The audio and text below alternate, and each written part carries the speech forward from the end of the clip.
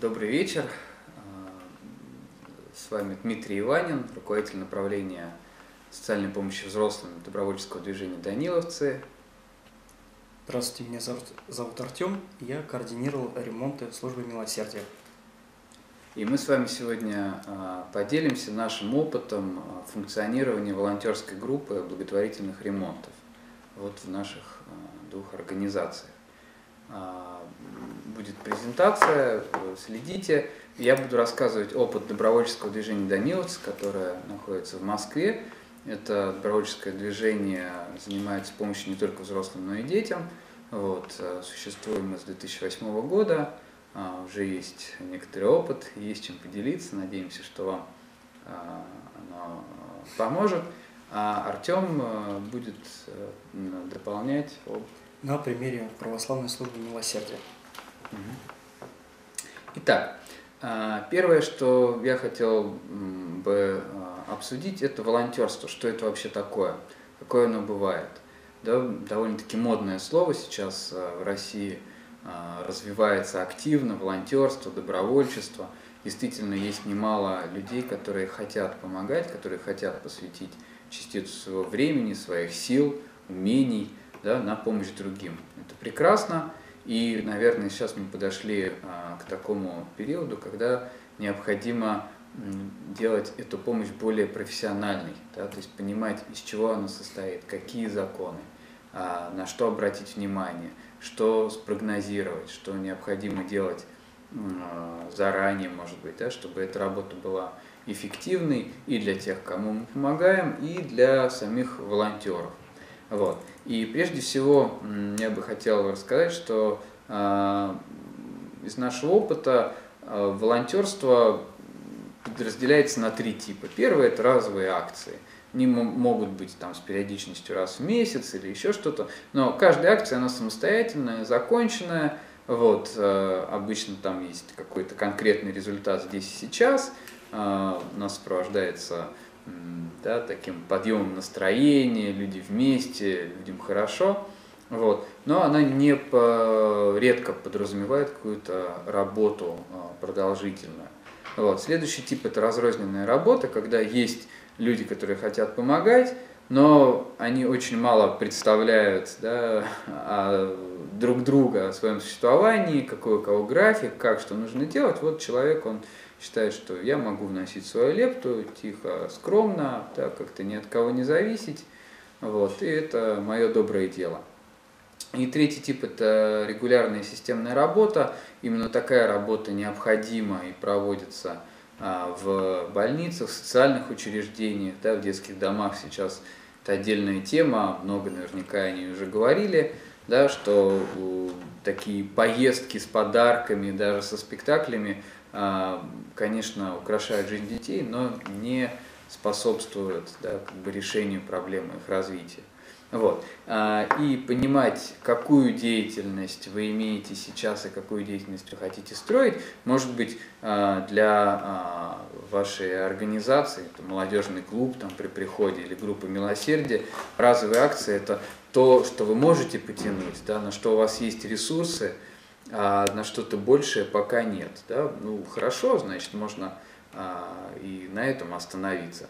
Вот. Или а, ваша задача а, обеспечить, вот как-то организовать а, деятельность а, тех людей, которые поодиночке, кто-то хочет а, приезжать, помогать там, бабушкам или а, многодетным семьям, инвалидам там, по хозяйству, вот, может быть, в том числе и в ремонтных работах. Вот. Либо э, ваша задача, все-таки у вас есть уже какая-то критическая масса людей, уже есть определенные ресурсы, и вы хотите строить регулярную системную работу.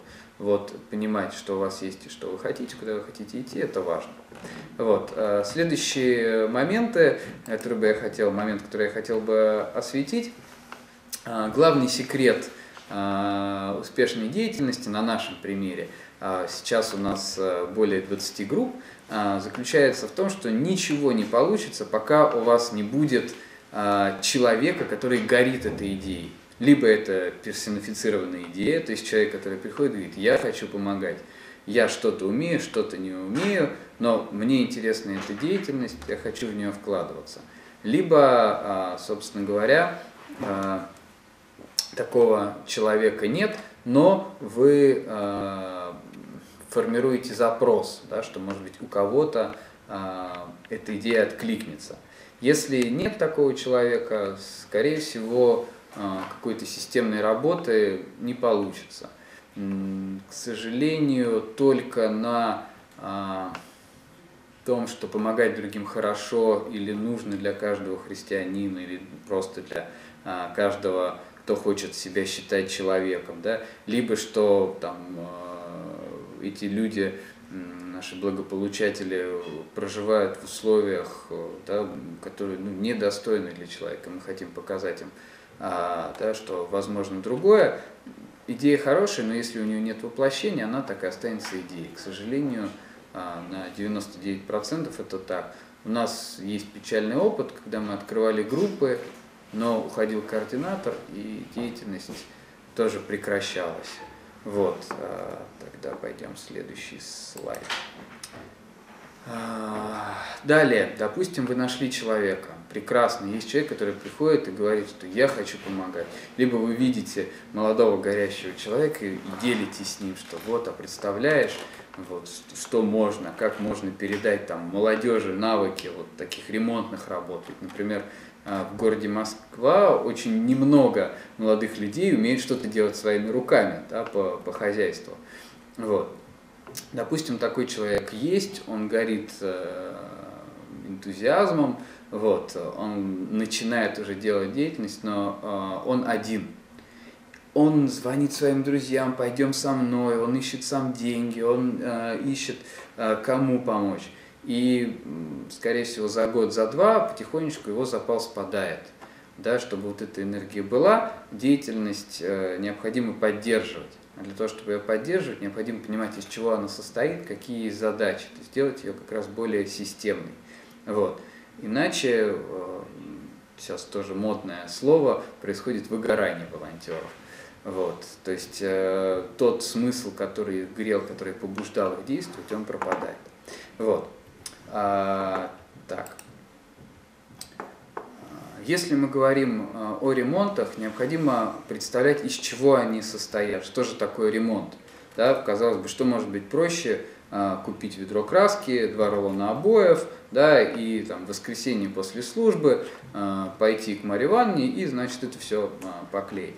Но оказывается, если мы создаем группу и хотим, чтобы это был не разовый ремонт, да, то мы в, входим, попадаем в целую систему взаимоотношений, где есть волонтер со своей мотивацией, со своими особенностями жизни, со своим развитием, где есть благополучатель, у которого тоже есть представление о том, какой э, должен быть ремонт, или как ему должны оказывать помощь, или, а, ну, там может быть все что угодно.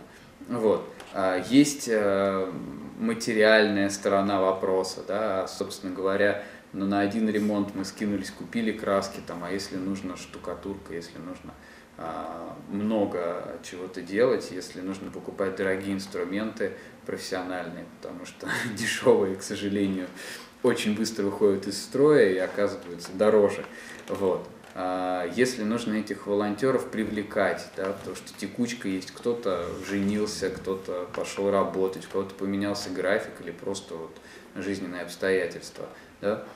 А, нужен человек, который договорится с благополучателями, когда они э, будут дома, когда э, привезти стройматериалы, когда, когда какие-то будут возникать вопросы, что-то, может быть, пропало, или не тот цвет хотели, или там как-то положили криво а, линолеум или ламинат. Да, то есть э, человек, который будет э, ориентирован на организацию этой деятельности. Вот. А, этих элементов много, мы сегодня о них а, поговорим. И а, последний момент, который я хотел сказать – это тоже важно понимать цель. Если вы хотите заниматься этой деятельностью, на что вы направлены? На создание группы. Отлично, можно все спланировать, организовать, группа создана, и потом она отпускается в свободное плавание, и, скорее всего, потихонечку она будет чахнуть. Да, такое часто бывает. Цель все-таки социальных служб, цель, может быть, организации, да, я не очень знаю, в каком состоянии да, ваша работа, как она организована, все-таки это жизнь этой волонтерской группы, ее обновляемость, да, а, ее обеспечение, ее рост. Вот, поэтому, если на слайде так я изобразил схематично, а, представить а, некоторую прямую да, жизни этой группы, есть этап подготовки, Первый год это только какие-то такие микробури, устаканивания, когда группа обретает свое лицо, когда формируются правила, отношения. И потом уже начинается период там, и других трудностей, кризисов, вот, смены координатора. А, то есть вот э, осознание то, на каком этапе деятельности сейчас находится группа, да, как я, как э, сотрудник организации, как может быть лицо ответственное, а, могу сейчас помочь, поддержать, да, как я осуществляю это управление и какие задачи передо мной стоят, это важно. Но, а, несмотря на то, что я нарисовал прямую, скажу честно из нашего опыта, что чаще всего жизнь группы напоминает спираль, вот такую пружину, которую можете видеть. Задачи повторяются, то, что люди обновляются, координаторы обновляются, даже смыслы а, периодически необходимо проговаривать, да, как-то формировать вот эту духовную общность группы. Вот. А, и э, теперь мы можем приступить более подробно вот к изучению этих вопросов, а, которые к этому семинару были мне предложены. И прежде всего я бы хотел поговорить о волонтере и о волонтерстве. Что это такое?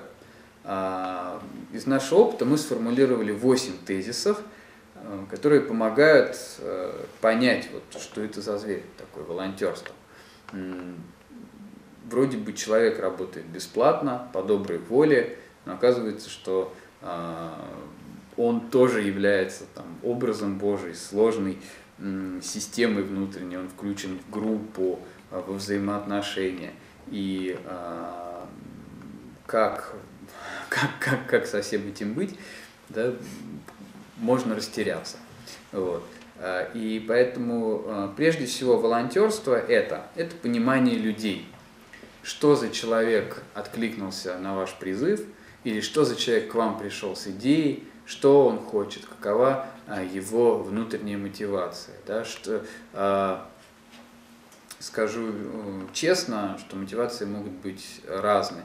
К нам приходят люди, которые просто хочется сделать что-то доброе, но вроде бы с детишками там играть не очень получается, да, э, ухаживать за престарелыми как-то не очень, а вот там ремонты, стройка такое мужское занятие.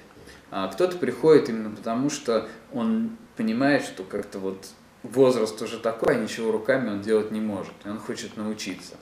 Да? Кто-то приходит а, просто потому, что он стал христианином, а, отказался от многих привычек старой жизни, от многих друзей, а новых не, пока в церкви не обрел. Ему нужна среда, общение, да, люди, с которыми можно поговорить, у которых можно поучиться вере. И вот эта внутренняя мотивация – это то, что позволяет волонтеру продолжать свою деятельность, получать от нее а, отдачу, интерес. И вот это понимание людей – это важно. Второе – это пройти по лезвию ножа.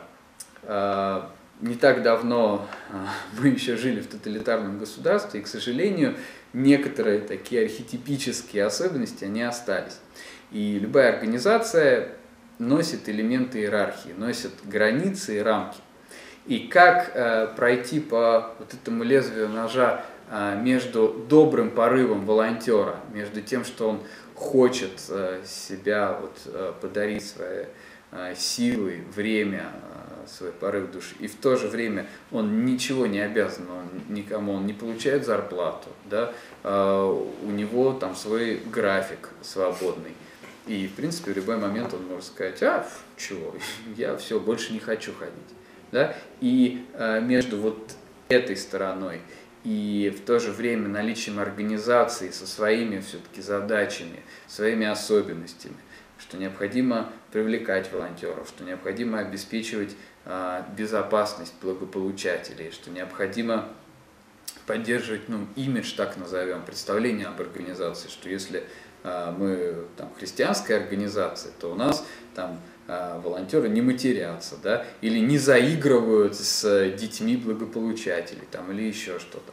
Вот. То есть правила, определенные ограничения, форматы, да, что там, если человек пришел как волонтер, он не вступает там, в денежные отношения с благополучателем, не обсуждает, что это я там тебе сделаю за деньги или еще что-то. Вот. А, то есть как вот это совместить вот эти две стороны, чтобы и человек остался, и организация могла существовать, это вот э, э, такая задача э, организатора, и это и есть ну, волонтерская деятельность, организация волонтерской деятельности. Вот. Третье – это ради кого? А, тоже очень э, тесно связано с вот этим лезвием ножа. А, наше добровольческое движение выросло из э, Центра духовного развития молодежи при Даниловом монастыре.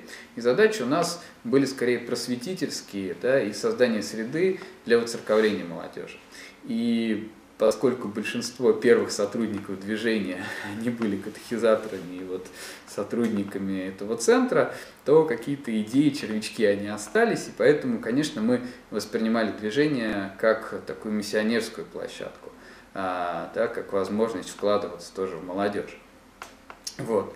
И оказалось, что действительно это важно, что э, волонтерская группа это не только служение благополучателям, но и служение волонтерам а, по а, удовлетворению их глубинной мотивации. Потому что иногда эта мотивация связана с травмами и происходит ну, исцеление вот в этой деятельности. Человек встречается с человеком, человек начинает как-то себя открывать, дарить, видеть, что ну, даже не всегда его деятельность, она вот так принимается на ура, все благодарят, кланяются в ножки, что иногда сделать доброе дело и при этом, ну, вот, как-то, может быть, не получить какой-то теплой отдачи, а, такое бывает, и как, как с этим справиться.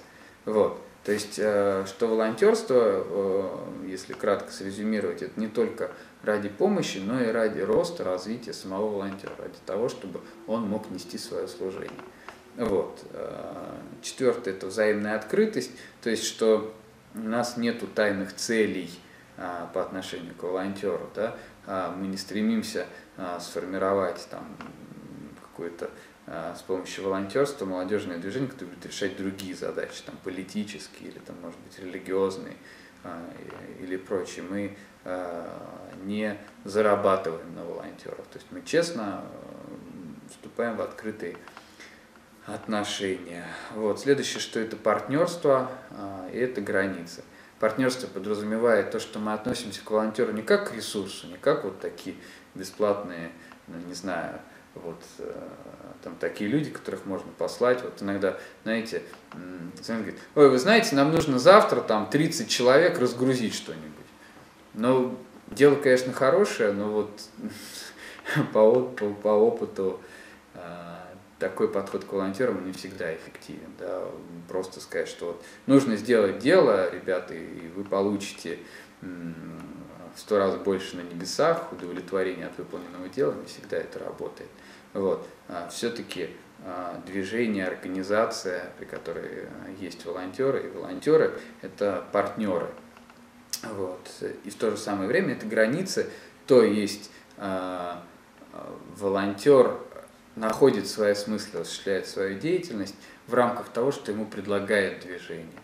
Да, и, следовательно, если вот этой встречи не происходит, то волонтер может попробовать себя в другой организации, да, либо организация задуматься вот, о чем-то своем, а, что, что у нее происходит. Следующее волонтерство – это затраты. Вот, честно, как-то а, мы обсчитывали бюджет а, нашего волонтерского движения и так э, представили, что в принципе, если по средней заработной плате, то можно было бы нанять людей примерно на эти деньги, чем содержать штат сотрудников, да, организовывать мероприятия поддержки, там, а, да, встречи для волонтеров, обучение, рекламу, привлечение волонтеров. То, что в принципе а, может быть там не в порядке, но эти э, суммы иногда сопоставимы. Вот, эти затраты, они нужны, иначе ну, Конечно, бывают исключения, но не всегда. Вот. Далее волонтерство – это групповое служение. А, это важно понимать. А, зачастую с людьми, конечно, не очень легко бывает. Да, каждый человек, он уникальный, у него есть свои ценности, смыслы, а, да, свои особенности. Но волонтер, который ходит один, все-таки ты как христианин волонтер в опасности. Вот. А, он может быть очень как-то далек от реальности и понимания а, да, своей деятельности, осознания своей деятельности. А главное, что он просто может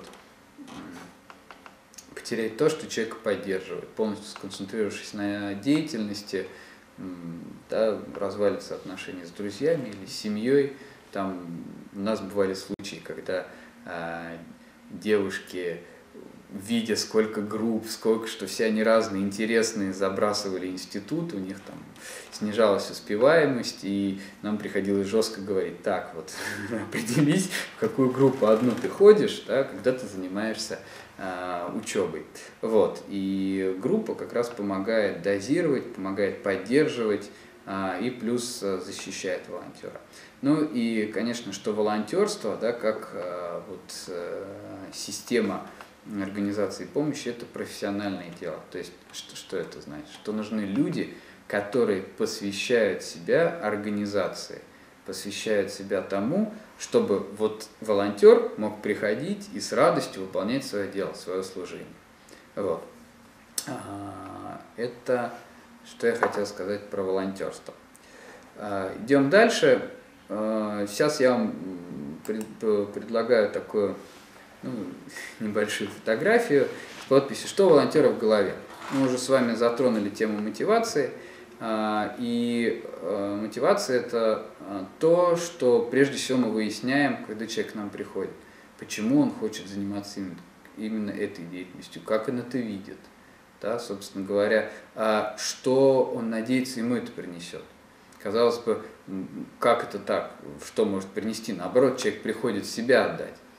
Но практика показывает, что волонтерство, как, наверное, любая деятельность, она тогда делается с легкостью, с радостью, долго, а, качественно, когда человек получает отдачу, когда от того, что он себя даже дарит, да, вот у него есть положительные эмоции, у него есть радость, да, у него есть э, вот это ощущение. И, конечно, когда он приходит, уже в голове у него какое-то представление есть. А, мы как-то попросили нашу волонтерскую группу рисовать, здесь, наверное, мелко, не очень хорошо видно, да, собственно говоря, что, что такое волонтерство, что такое его служение, его деятельность. И получилось такое солнышко, много очень правильных, красивых а, слов. Действительно, а, наша деятельность – это вот радость встречи с другим человеком, его ситуацией жизненной. Это возможность позаботиться о нем, подарить а, ему да, частичку своего времени, своей заботы. Вот. А, и все-таки у большинства волонтеров, которые к вам приходят, и я хочу сказать, что это абсолютно нормальная, да, хорошая мотивация. Ее не нужно а, пугаться, если вот человек а, да, хочет, понимает, что вот эта деятельность ему может а, принести. Вот. А, ну вот про внутреннюю и внешнюю мотивацию мы с вами уже касались. Внутренняя мотивация – это что у человека в голове, осознанная она или неосознанная. А, останется ли она или она будет изменяться в процессе а, роста волонтера, осуществления своей деятельности. И э, внешняя мотивация, то есть миссия организации, что вы предлагаете волонтеру как да, его деятельность, как его задача. Вот. Здесь только хотел подчеркнуть, что внешняя мотивация а,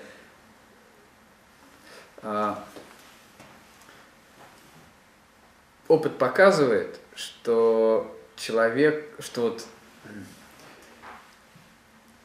человека нужно не толкать, а человека нужно притягивать. Тогда он придет к вам, и он будет рад и доволен, будет осуществлять свою деятельность, и ему будет нравиться это. А, и проще, привычнее зачастую все-таки вот человека как-то толкать, работать на чувство вины, да, что все христиане должны помогать. Или, а, ну вот посмотри, а, как эти люди живут, да, вот посмотри, а у тебя же там все нормально, или человек сам думает, вот я, у меня все хорошо, а, они бедные. Вот. Она не должна быть идеологичной, да, то есть использовать особенно вот какую-то религиозную мотивацию.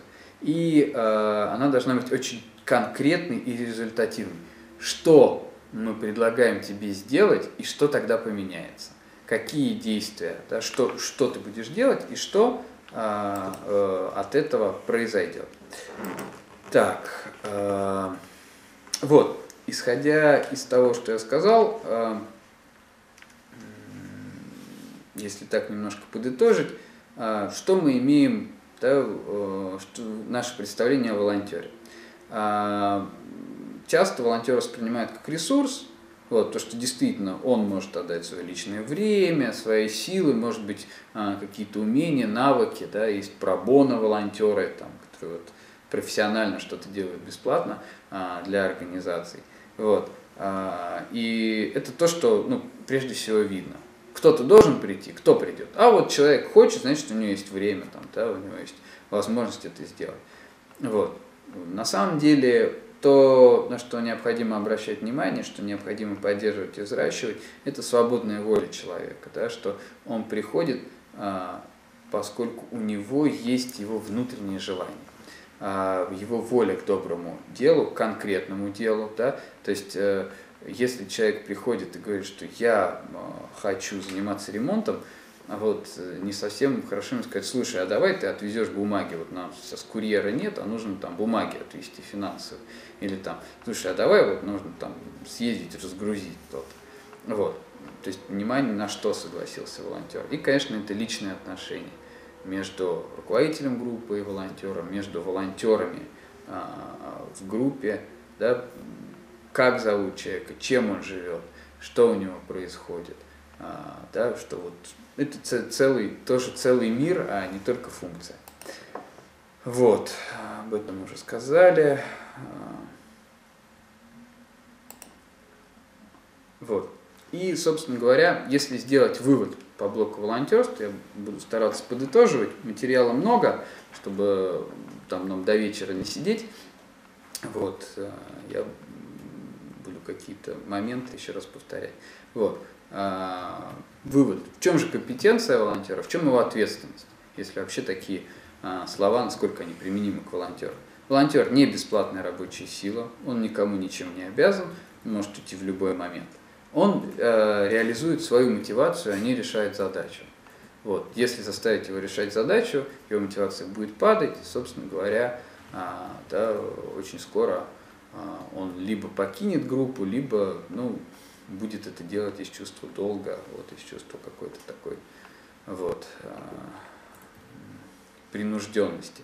Вот. Волонтер обладает только своими знаниями и умениями, из которых следует его компетенция, компетенция и ответственность. Да? То есть э, привлекайте волонтеров для сложных работ. Э, вот э, из нашего опыта мы увидели, что вот если у нас нет волонтеров, как сейчас, да, вот там иногда они бывают, которые могут а, качественно положить плитку, выров, выровнять для этого стену, да, там как-то это положить, то а, как бы нам не хотелось помочь, мы не возьмемся за эту работу, чем потом разочаруем и благополучателя, и волонтер видит, что получилось-то у него как-то не очень. Вот. Если, конечно, у нас нет человека, который способен научить, показать, проконтролировать, там, может быть, где-то подкорректировать. Вот. А, то есть это важный момент. А, да, волонтер, как правильно, однозадачен. То есть зачастую удовлетворение волонтер приносит, когда он выполняет какое-то вот одно дело. Но у него может получаться, у него хорошо. И это задача координатора, это задача организации, четко ему показать, что он должен делать, где, в каком объеме, да, что, что есть для того, чтобы это выполнить. То есть обеспечить вот это выполнение его деятельности, его задачи, а не сказать, ну что, делаем ремонт, делаем, как составить эту смету, сколько нужно денег там, как что, куда это закупить, как с чего вообще начать, как, как где, это все может обсуждаться в группе, но совершенно не является задачей волонтера. Вот. Тоже одна из э, таких наших фишек, то, к чему мы пришли, это вот собеседование. К сожалению, не все волонтеры нам подходят, а мы подходим тоже не всем волонтерам. Вот. И чтобы это была четкость и ясность, что мы можем предложить и что человек готов отдать, да, что, что вот он хочет получить, ну, проводится собеседование. А, мы рассказываем об организации, мы обсуждаем, что ему интересно, почему да, он выбрал именно это направление, вот, какой его личный смысл участия, вот, э, есть ли у него уже какой-то опыт волонтерской или профессиональной деятельности, общественной, вот, э, там, да, а, в семье, может, кто-то он помогал. И из этого стараемся как-то увидеть, что за человек, да, насколько а, а, ну, как-то он разделяет наше представление о помощи, наше представление об отношении к человеку, вот, э, христианском, потому что ну, разные действительно люди приходят. И, собственно говоря, и волонтеру сказать, что его ожидает вот, э, в дальнейшем. Тому же на собеседовании важно сразу вот показать, что волонтер не приходит, чтобы быть один. Зачастую ему бы хотелось быть так, но что в организации есть другая деятельность, есть встречи, есть группы поддержки, когда там, проявляют, проясняются какие-то смысловые вопросы служения, или что можно, а чего нельзя а, да, в нашей деятельности, или куда группе расти, куда двигаться. Например, отказаться ли от длительных ремонтов и сложных ремонтов. Но зачастую именно такие ремонты наиболее востребованы и нужны. И это сложный выбор. А, но там, да, в пользу а, более четких, коротких ремонтов, которые может группа сделать, сделать их больше, а, быстрее, качественнее, может быть, потому что заявок много, или потому что сейчас волонтеров мало и навыков у них немного. Вот. Это происходит на собеседовании. И, собственно говоря, вот есть некоторые правила деятельности добровольцев на четырех, по-моему, они страницах, где как раз мы э, вот это все и обговариваем. Да? То есть а, с волонтером тоже есть некоторый договор, да, что если мы а, всячески стараемся тебе помочь, поддержать, да, мы организуем эту деятельность, но ты берешь ответственность. Но а, самый минимум а, этих правил, вот, ну, помимо, конечно, принципа «не навреди», вот, а, это то, что а, волонтер может выйти, прекратить свою деятельность в любой момент, но должен предупреждать заранее, чтобы не оказалось, что координатор приезжает один, никого нет, ничего нету, как, как, что делать непонятно, а квартира вот, э, лежит а, в руинах. Вот. А, то есть вот такие правила, они довольно-таки важны. А, плюс э, здесь сразу оговаривается – наличие координатора, да, что все-таки деятельность она находится в рамках, и свобода волонтера, его реализации, его поиски, она находится в рамках группы. Вот. Ну и, собственно говоря, как, какие-то конфликты раз, разрешаются. Ну и какие-то такие моменты, которые а, не всегда осознаются. Например, что если ты хочешь сфотографировать там, да, благополучателей или их квартиру, или какую-то личную информацию, и потом поделиться в этом Фейсбуке э, или ВКонтакте, то сначала спроси, потому что, может быть, у людей совершенно другие представления. Вот, и там, да, например, что запрещено публиковать фото без согласия. Какие-то вот такие моменты. Вот, э, это что касается волонтерской деятельности. И когда произошло собеседование, когда мы рассказали, познакомились с правилами, а, обычно у нас есть небольшой испытательный срок, ну, три месяца, да, то есть вот а, через три месяца как-то уже человек должен а, принять решение, готов ходить с нами, а, и, собственно, и степень его самостоятельности, да, она меняется, то есть все-таки а, во время испытательного срока координатор а, больше направляет, помогает, подсказывает, этому новому волонтеру, присматривается за ним, да, может быть, пока избегает каких-то ответственных самостоятельных деятельности. А, деятельности. Вот. И после этого волонтер принимает решение и, собственно говоря, да, уже как-то договаривается вот, о том, что делать. Э, из э, вот, э, нашего отношения к волонтеру и работе с ним, и э, возникает позиционирование нашей группы. Вот вы на экране можете видеть. То есть, собственно говоря, какую мысль, какой месседж, как сейчас говорят, сообщение мы посылаем вовне. Да, вот на что должен волонтер откликнуться. Группы разные. Я вот э, в группе ремонтов хочу, чтобы оно было максимально конкретно и, ну, не знаю, такое не не давящие на чувства, а что это вот действительно предложение. А, вы можете прочитать, что волонтеры – это обычные люди, которые посвящают свое время и руки тем, у кого нет сил или возможности сделать даже простой и непрофессиональный косметический ремонт. Вот, что да, наше служение – это пенсионеры, инвалиды, многодетные семьи в пределах города Москвы. Кто может стать добровольцем, а, это молодежь от 18 до 35 лет, допускаются исключения – на усмотрение координатора, что у человека должно быть отсутствие психических инфекционных заболеваний, химической зависимости, так, судимости тоже мы смотрим, но в основном это относится к детским группам. Вот. А, и обязательно говорит, что для того, чтобы вступить в группу, не нужны специальные навыки, да, что ты всегда можешь послужить тем, что у тебя уже есть, и еще и вырасти, еще и чему-то научиться в процессе этой деятельности. Вот. Конкретное оговаривается время работы группы, то есть когда, а, собственно, волонтер да, должен а, стараться быть на объекте, вот, подходит ли ему это, не подходит. И, собственно говоря, что чтобы стать волонтером, нужно не просто прийти и сказать, здрасте, или там я а, Вася, буду там с вами сегодня, можно? А, давай. Нет, а что необходимо? Заполнить анкету, пройти собеседование, да, что мы должны познакомиться, приглядеться друг к другу, вот, и только после этого уже можно а, да, допускать человека на объект. Вот. Для чего это говорю? Ну, вот так это выглядит а, у нас на сайте. Тоже, да, вот такая фотография. Ну, и там их есть несколько, да, которая как-то должна, ну, вот, а, сформировать у человека представление об этой деятельности, и что, а, собственно говоря, да, как-то у, у него-то внутри а, вызвать отклик.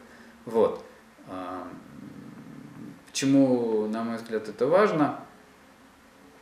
Самый главный вопрос, когда начинается новая группа, где взять волонтеров? Да, кто-то может прийти из другой деятельности. Но оказывается, что любая волонтерская группа обладает определенной текучкой, и работать на привлечение волонтеров необходимо постоянно.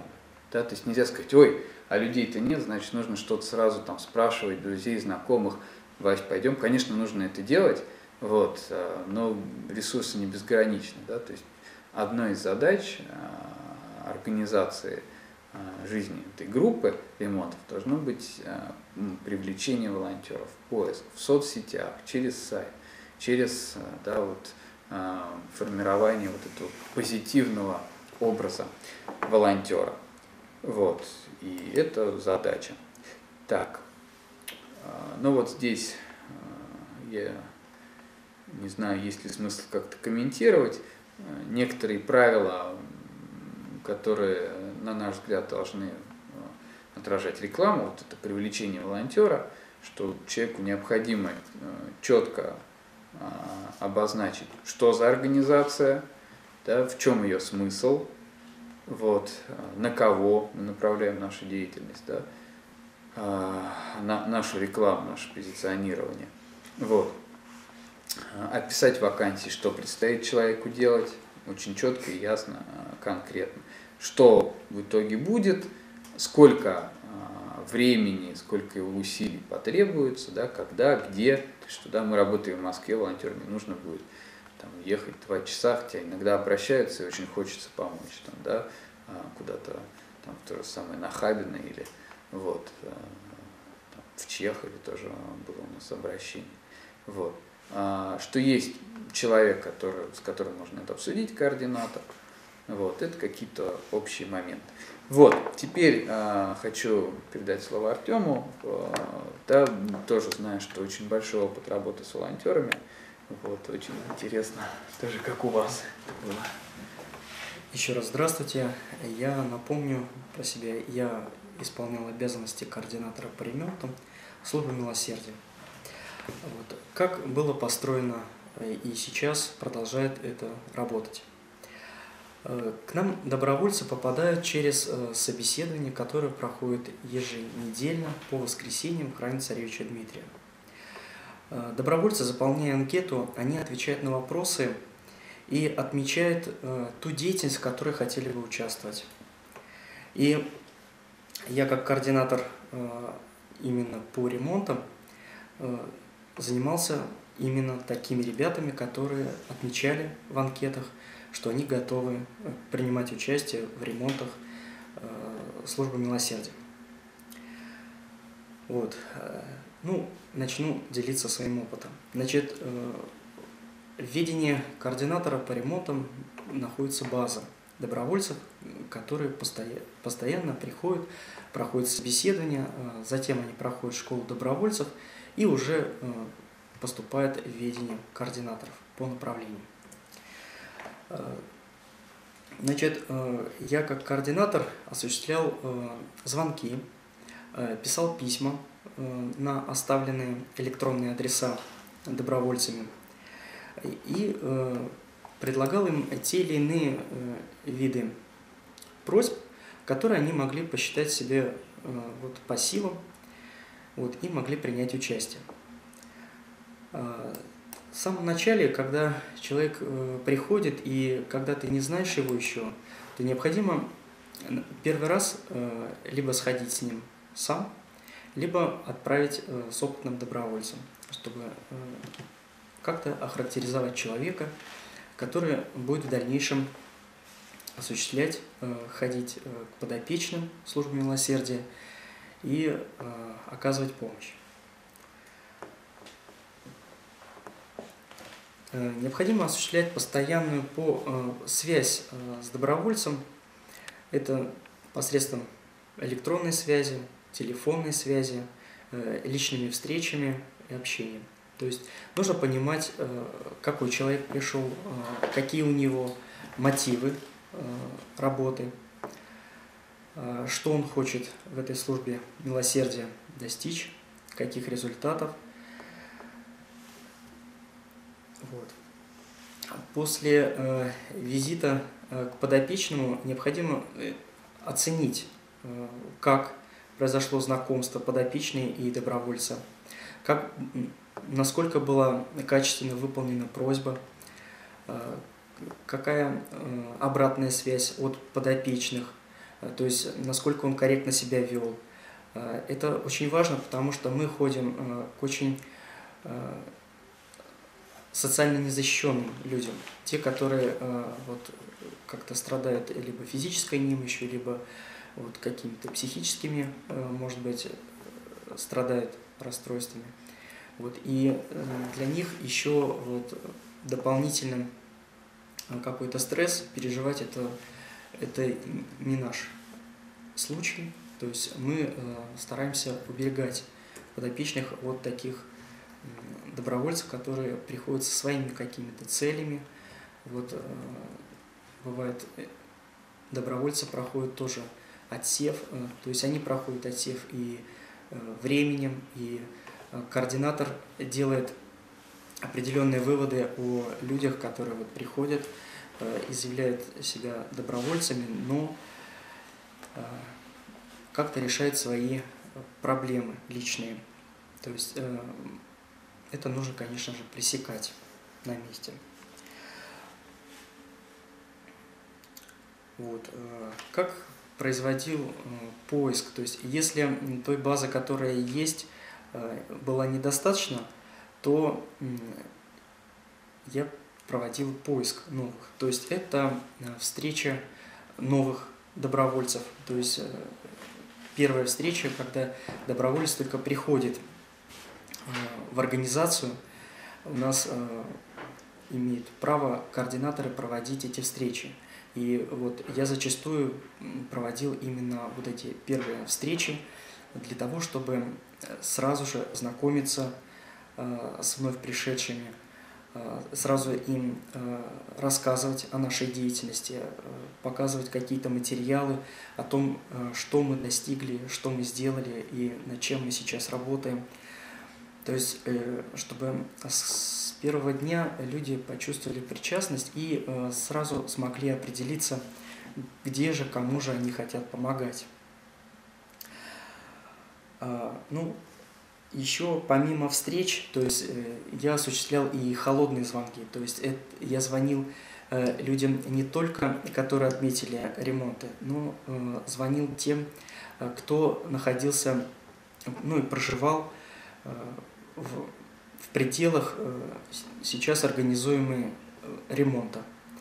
Или, э, допустим, знаю его маршрут движения, то есть обращался иногда за такой помощью, как что-то помочь перенести, что-то поднять, если материалы привозили.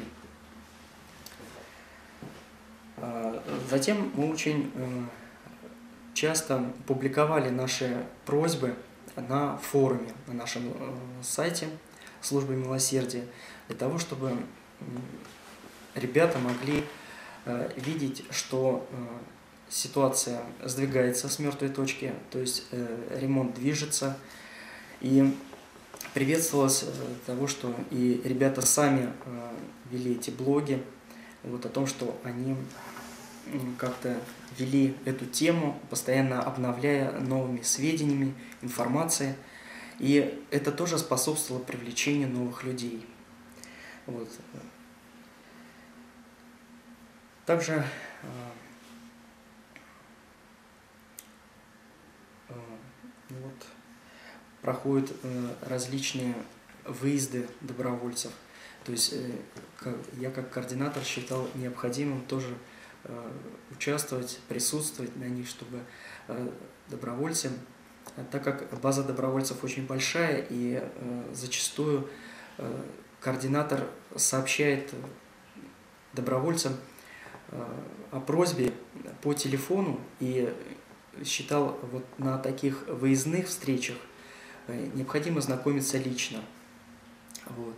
И также выходил сам на ремонты, чтобы э, была своя картина о взаимоотношениях добровольца с подопечными, э, его какая-то личная характеристика, чтобы она вот была именно э, своими глазами увидена и вот через свое личное восприятие. Ну, наверное, по блоку добровольцев, наверное, у меня все действительно важно, как организовать работу с волонтерами, как отсеять тех, кто, ну не отсеять, да, как а, провести вот это собеседование, как вообще наблюдать за волонтером. Вот. Потому что кажется, ну, человек-то нормальный уже ходит, с ним знакомы давно, но как, да, действительно ли он вот, подходит для этой деятельности, действительно ли он приносит пользу. Вот. Следующий а, блок, который мы хотели осветить, это для кого, для кого мы делаем наши а, подопечные, наши благополучатели. Вот, действительно, казалось бы, вот, вполне простой вопрос. Есть нужда, есть потребность, вот, значит, мы можем эту потребность удовлетворить. Вот. Однако здесь тоже необходимо иметь в виду некоторые вещи. А, у благополучателя есть потребность, действительно потребность э, в жилищном, в улучшении жилищных условий, да, а, в проведения этих ремонтных работ. Потребность не всегда означает мотив обращения в организацию. Казалось бы, что ну да, человеку нужно сделать, но зачастую оказывается, что э, обращаясь в волонтерскую организацию, у человека есть какой-то ну, свой, свой другой мотив, почему именно к волонтеру. Да? Это не всегда отсутствие денег, вот. иногда не совсем честные мотивы, иногда это а, желание общения, это желание вот, каких-то взаимоотношений, одинокие люди, вот, и им как-то очень хочется, да, вот, чтобы кто-то был, чтобы было какое-то внимание, это тоже, тоже необходимо учитывать. Вот. А, то есть э, соотносить вот эту потребность человека, действительно, что, в каком состоянии у него квартира, а, что, делает ли он какие-то сам шаги по изменению этих условий. Или, а, да, может быть, это а, семья, а, там, ну, так называемая неблагополучная, Э, злоупотребляя алкоголем, э, да, ведя такой не очень, э, так скажем, располагающий к заработку денег образ жизни, вот, они просто привели свою квартиру в негодность, да, такое бывает, там, потом подключились к счетчику напрямую, там где-то засорила канализацию, где-то в да, каких-то разборках внутрисемейных там сломалась дверь а, да, или еще что-то. И а, понятно, что вроде бы потребность есть, а, мотив обращения есть, но понятно, что здесь не ремонт, а, наверное, вот такая социальная работа будет важнее, поскольку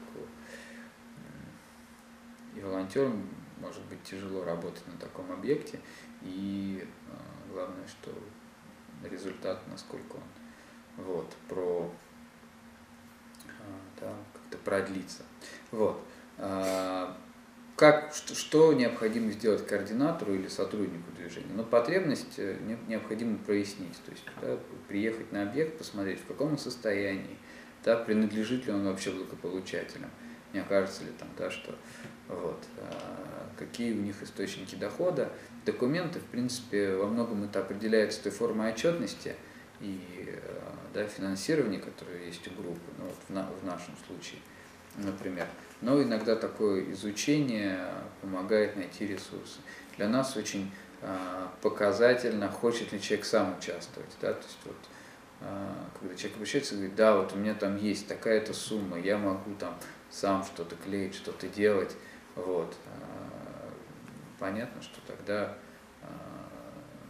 с большей долей вероятности вот этот человек как-то так отнесется а, серьезно к ремонту, и он принесет ему радость и какое-то ответственное отношение. Мотив обращения проясняется решением. Также а, у нас есть некоторый договор об оказании благотворительной помощи, договор пожертвования. Вот. Может быть, он не, не носит особой какой-то юридической силы, но он позволяет с человеком проговорить и ему прояснить, что а, ремонт делается силами непрофессионалов, да, что качество, это следующий пункт ожидания уже, может не соответствовать тому, что вот иногда мы видим по телевизору или там на картинках в модных журналах, да, что ремонт а, длится силами волонтеров зачастую весьма долгий срок, потому что волонтеры могут приезжать там один-два раза в неделю. Вот. Но в нашем случае э, это так.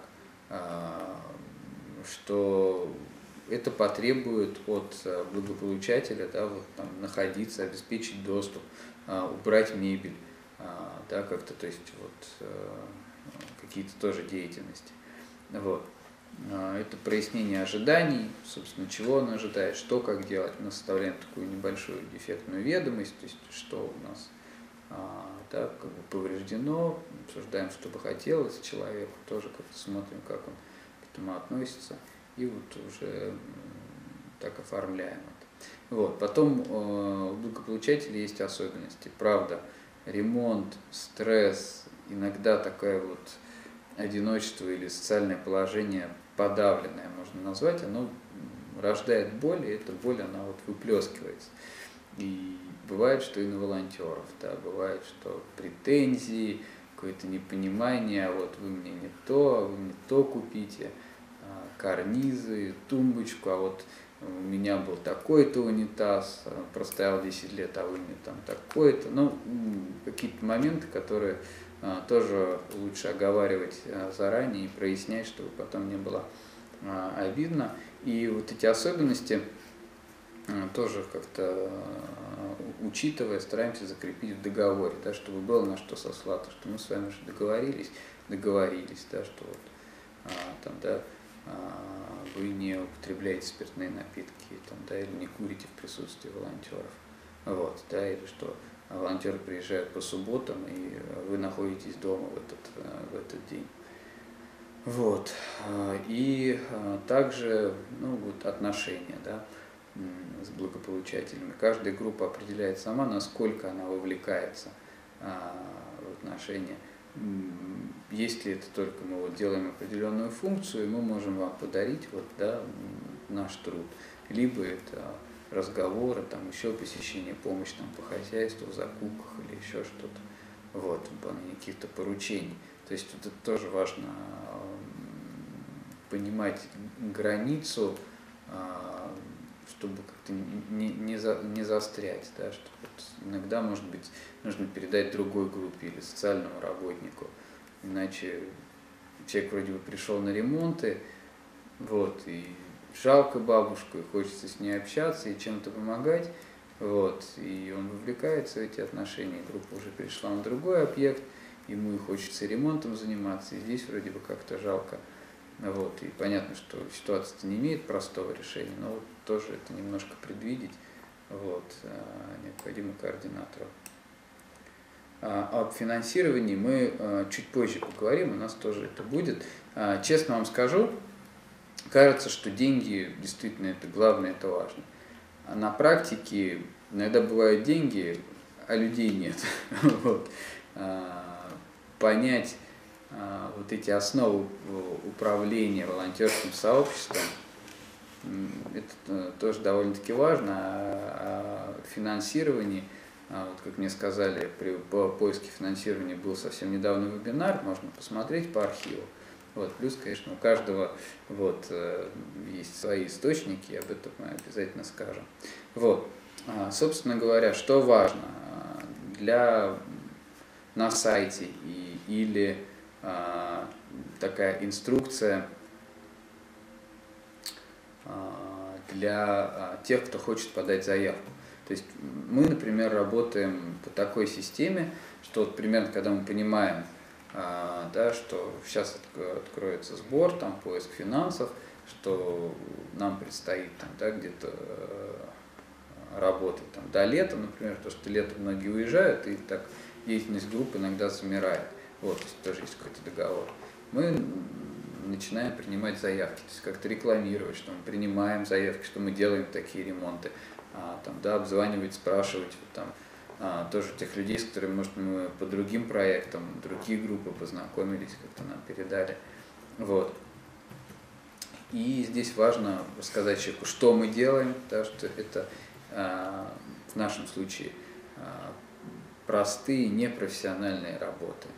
Вот, клейка обоями, покраска, вот, можем постелить линолеум, с определенной долей вероятностью можем постелить ламинат, если пол позволяет, да, можем что-то вставить, а, дверь, оштукатурить небольшую поверхность, вот, там, да, и, вот. А для кого проводятся благотворительные ремонты, да, что есть перечень документов, что мы рассматриваем, что не обязательно что если вот э, вы находитесь в таком а, положении бедственном, да, что мы вот обязаны вам помочь, что все-таки это а, иногда такое решение не очень простое, но отказать, да. А, иногда для, для группы, может быть, работать на этом объекте будет не ну, опасно, так скажем. Вот. Кто оплачивает материалы? То есть э, как осуществляется финансирование и что, например, в нашем случае подразумевается. Что если мы собираем деньги, да, то мы публикуем, там, например, историю человека, а, фотографию человека, да, что вот это все, а, чтобы собирать да, финансы, будет необходимо сделать. Вот, то есть чему нужно быть готовым? К тому, что может приехать а, СМИ и снять какое-то интервью, да, либо что а, три месяца вот, вы будете жить в одной комнате, будет пыль там, да, мебель будет занавешена, что вообще мебель нужно занавесить, и вот, э, если там у вас какой-то дорогой паркет, который вы хотите оставить, его нужно как-то застелить, вот, что в, когда работают волонтеры, велик риск, вот, да, поломок или вот э, каких-то таких э, не очень приятных случаев, и к ним нужно подготовиться. Вот. А, и, собственно говоря, как оставить заявку на ремонт. Ну, в нашем случае это обращение, то есть это первичный. Вот человек пишет, мы стараемся от руки просить, чтобы люди написали, они потом могут отсканировать или как-то, да, что вот это а, действительно его какая-то история небольшая, потом это договор об оказании помощи, э, помощи и предоставить пакет документов. Вот, ну вот такой пример нашего договора. Ну, я делюсь своим опытом координаторской работы православной службы милосердия по ремонту. Значит, э, в православную службу милосердия поступают горячие звонки. То есть э, их операторы регистрируют, заносят, и э, тем самым координатор их сможет видеть уже в своей программе. Как поступают к нам или как узнают о нас подопечные и потенциальные просители.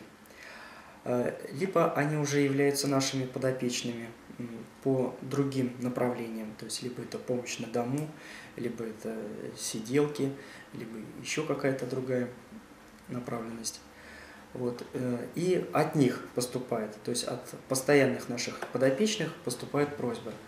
Либо из уст в уста, то есть кто-то, э, знакомый, передают другим знакомым о том, что есть э, такая возможность обратиться, и э, ребят вот окажут посильную помощь. Значит, первый раз нужно, конечно, координатору выехать самому и оценить ситуацию лично. Вот. Если это, конечно, касается замены смесителя или э, прикрутить дверную ручку, то, может быть, координатору не всегда нужно ехать и э, оценивать. То есть можно послать э, опытного добровольца, который не только прикрутит ручку, но еще оценит ситуацию вообще в квартире. И, соответственно, координатору поступает эта информация и, возможно, рассмотрится возможность еще что-то сделать сверх этой дверной ручки. А, вот, и когда я выезжал на место, если это касается, конечно, какого-то капитального ремонта или вот косметического ремонта, то э, я принимал решение, делаем ли мы это, это мы, либо это, за это мы не беремся, либо это даже делают э, сами подопечные. Э, вот этот случай, когда делают сами подопечные, я вам расскажу пример. То есть к нам обратилась одна женщина, у которой э, двое здоровых сыновей. Она обратилась и э, попросила нас поклеить обои. Вот. Когда сходил доброволец и сказал, что там есть два сына, вполне здоровых и уже совершеннолетних, то моя реакция была следующая, что я говорю, вот позвонил подопечный и говорю, что давайте поступим так. Если вам нужна какая-то консультация, мы вам ее окажем. Но э, к вам придут э, клеить обои такие же ребята, как ваши сыновья. И, возможно, вам будет лучше сделать это своими силами. Вот. Э, на чем мы с ней расстались. То есть она спросила, нет ли у нас стремянки, на что я сказал, что нет, обычно мы, либо которые есть, мы, они у нас все заняты, либо мы пользуемся стремянками подопечных. И она спросила, э, какой клей купить, э, каким обоим. И все. То есть, и эта просьба у нас была закрыта вот таким вот способом. То есть мы обошлись малой кровью когда подопечные, им достаточно было консультации, или можно даже выехать и сказать, как э, спланировать, как организовать, или с чего даже начать ремонт, и они могут это сделать сами. Вот. И э, решение, когда делаем это не мы. То есть в том случае, если требуется какая-то профессиональная работа. То есть если на тот момент, когда нет добровольцев, которые готовы э, провести электрику в квартире, то я принимал решение о том, что мы это, за это не беремся. А, но а в остальных случаях э, мы принимали решение положительное, э, заступали и о чем, конечно, сразу договаривались с подопечными, что мы будем делать. Э, к сожалению, у нас документального оформления не было, то есть это в нашей практике вот, не было заведено. И, может быть, э, если бы это было, мы избежали бы кое-каких недоразумений. Но, как говорится, на ошибках учились. Вот. Э, значит, э, так как поступает очень много просьб, приходится расставлять приоритеты. Это и по территории, то есть бывает так, что там, где есть просьба на ремонт, там э, очень большое количество добровольцев сосредоточено и у которых очень крайне мало времени. Так вот, э, принималось решение, что их нужно направить туда в первую очередь, потому что э, добровольцы не востребованы, они начинают искать другую себе другое применение. То есть либо в другую область переходят, либо в другую организацию. И, конечно же, нужно чтобы добровольцы всегда чувствовали себя причастными э, вот э, к тому движению, к которому они причастны, в котором они состоят. Вот. Ну, были такие случаи, что у нас и, э, и от нас ожидали очень многого. Конечно, вот были такие случаи, когда покупали дорогую плитку – и они э, очень делали большой акцент на том, чтобы мы не испортили ничего. В том случае, э, когда покупают э, сами подопечный дорогой материал и обращаются к нам сделать ремонт, вот мы их сразу предупреждали, что зачастую ребята делают непрофессионалы. Поэтому за качество, вот то, что вы купили дорогой материал и теперь ждете от нас высокого качества мы вам гарантировать не можем. Если подопечные соглашались на то, что вот они готовы, э, если будут как-то какие-то огрехи, ну, конечно, если мы это можем э, уже исправить, то мы э, это делали. Если же они наставили все-таки на высоком качестве исполнения, то мы от этого отказывались. Потому что если есть средства купить дорогие материалы, и которым потом повышенное внимание, то, э, конечно же, это не наш случай. Вот. Сейчас я хотел бы вам показать э, несколько примеров с реальными историями, где мы были и что мы сделали. Э, этот ремонт производился у матери-одиночки – и у нее дочь больна ДЦП, дочери 21 год, и, конечно же, все внимание э, подопечной было сосредоточено на этой дочери. Вот. Э, сейчас эта женщина уже тоже пенсионного возраста, но ей необходима была вот эта вот помощь э, такого моральной поддержки.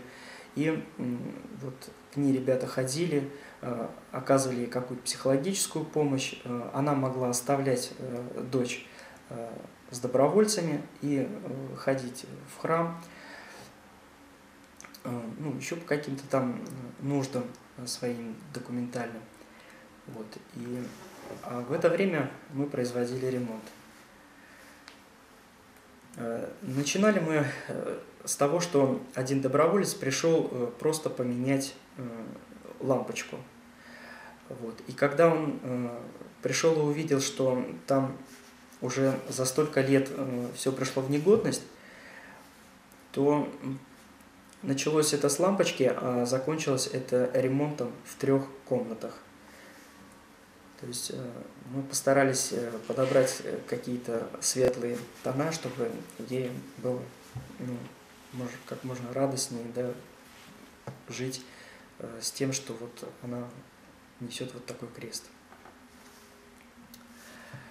Вот. Это процесс у нас ремонта, то есть э, проходил э, он э, вместе с проживанием подопечных, делали комнату за комнатой. То есть очень важно, чтобы ремонт не наносил большого ущерба состоянию морального подопечных. Не, не нужно быть идеальными. То есть когда э, начинаешь э, гнаться за качеством, подопечные от этого очень тоже страдают. Э, затягиваются сроки. Э, когда подопечные обращаются, они не всегда еще могут э, оценить, э, сколько это потребуется моральных э, сил. То есть это приходят всегда посторонние люди. Э, это вещи лежат не на своих местах. Э, это беспорядок если люди привыкли к порядку, тем более э, мы приходим к тем людям, у которых очень узкий круг общения, у них очень быт расписан. То есть они установили себе такую жизнь, то есть у них все по часам. Тем более, когда вот есть больные, когда нужно делать какие-то процедуры, там, прием пищи. То есть подопечные очень, как бы сказать, э, серьезно переживают вот это вот состояние ремонта. И главное здесь, конечно, не навредить. Если вы чувствуете, что э, подопечные уже устали от ремонта, а у нас э, есть возможности сделать еще больше, можно сделать перерыв. То есть тогда подопечные немножко отдохнут, вот, и есть возможность продолжить дальше. А вот, наверное, на этом все. Спасибо, да, действительно, слышу тоже у нас, могу только подтвердить, действительно, это очень важно. А, если подопечные проживают а, в этой квартире, да, то не нужно сдирать все обои, начинать там, да, с вот, комнаты, которая при, прям а, да, проходная во, во все остальные. Вот. Э, действительно, ремонт очень тяжелая деятельность э, не, не только в те дни, когда она делается, но и в те дни, когда вот это просто лежит, а нужно вокруг ходить, нужно как-то организовывать быт. И мы тоже а, зачастую принимаем решение вот сразу договориться, что вот мы делаем а, там, одну комнату там, да, и что-то, например, комнату и кухню, или комнату и санузел, да, или что вот а, здесь мы там делаем ремонт, а здесь мы только клеем обои или только краской делаем, или что вот. В эту очередь мы а, одни работы выполняем, уже можно жить, да, какое-то время проходит, там, через год, например, да, мы возвращаемся и тоже доделываем. То есть э, хочу подчеркнуть, что это важное направление работы координатора, ответственного э, за это служение, эту группу, работу с благополучателями. Иногда э, напряжение копится, но вроде бы сказать не хочется да, как-то огорчать людей, а напряжение есть, и иногда бывает не очень такие приятные ситуации, когда вот, лучше было бы сразу договориться, сразу как-то понять, расставить точки над «и». То есть вот э, координатору тоже важно общаться, как-то а, спрашивать, как а, да, себя чувствуют, как ощущают, да, то ли это а, с благополучателем. Вот. Мы с вами поговорили о волонтере, да, вот его такой картине мира, о том, с чем он приходит, как его можно привлечь. Поговорили с вами о благополучателе и э, о том, как нам оформить вот эти отношения, да, чтобы было четко, ясно для каждой стороны, вот, что будет, чего требует, что можно делать, что можно, что не можно делать. И следующее, о чем важно поговорить, это волонтерская группа. Что действительно, как сказать, волонтерская группа не всегда сумма слагаемых, не всегда сумма отдельных волонтеров. А, поскольку волонтеры благополучатели находятся в сложных а, отношениях, ну, не обязательно там негативно сложных, но вообще, что они многоуровневые, вот, и, и с а, благополучателем, и с координатором, с организацией, может быть, с другими волонтерами. Действительно, нужно, чтобы кто-то организовывал и координировал эту деятельность, чтобы кто-то организовывал внутреннюю деятельность группы, что волонтер чувствовал себя причастным, да, что он не один ходит, что есть кто-то, кто его может подменить, что а, знают его день рождения, да, что а, если он долго не ходит, как-то о нем заботятся, тоже как-то с, с, волнуются, спрашивают. Вот. А, давайте мы пойдем дальше. Координатор. А, собственно говоря, куда бы нам хотелось плыть? Конечно, некоторые вещи, которые я говорю, это такой идеал, к которому мы стремимся. Вот. А, и вот эта цитата Антуана де Сент-Экзюпери, на мой взгляд, очень хорошо характеризует деятельность. Да? Что мы строим корабль, а действительно мы вместе плывем на борту все стороны этого процесса находятся. Строить не потому, что ты научил людей шить паруса, или ковать гвозди, или читать по звездам. Вот корабль строится тогда, когда ты пробудил в них страсть к морю. Вот. А, и задача координатора как раз пробуждать вот эту страсть к морю, к ремонтам, к совместной деятельности, к служению, да, вдохновлять там и своим примером, и а, простроенностью, заботой о каждом человеке, о его задаче, о выполнении его функций. Ну, тоже несколько фотографий наших волонтеров, вот, так, чтобы не, не только сухой текст был. Вот, вот кстати, а, общий оказался у нас общий. Вот, один из общих волонтеров, по-моему, пришел из милосердия. А, так, что-то, а, вот все сработает. А, давайте, наверное, это пропустим. А, хотел подчеркнуть, да, что вот в отношении волонтеров очень важно, что координатор все-таки не начальник. Да, вот даже я, например, я руководитель, я могу сказать координатору, где отчет, почему нет фотографий, да, почему группа ВКонтакте не обновляется. А координатор так волонтерам уже сказать не может. А координатору необходимо быть для волонтеров лидером, да, то есть э, для нас он как бы ответственное лицо, а для волонтеров он лидер.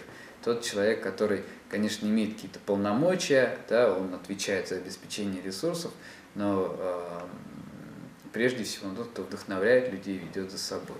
И, конечно, это дает им определенные преимущества. В нашем опыте э, мы поняли, что не все люди могут сработаться друг с другом, и у координатора есть право вот как-то оценить, подумать, может быть, помолиться иногда и понять, вот сработается он с этим человеком э, или не сработается. Вот. Печальная ситуация, но вот тоже имейте в виду, что иногда вот такой благой порыв не по силам разрушает, бывает разрушительно. Вот. А, Итак, э, собственно говоря, вот э, у нас есть человек, который готов стать координатором, есть э, уже концепция привлечения волонтеров, вот, уже рассказываем о нашей группе в соцсетях, перепощиваем, вот, что, что же делать. Да, дальше идет создание команды, как раз тех людей, которые будут работать, в том числе и на координатора.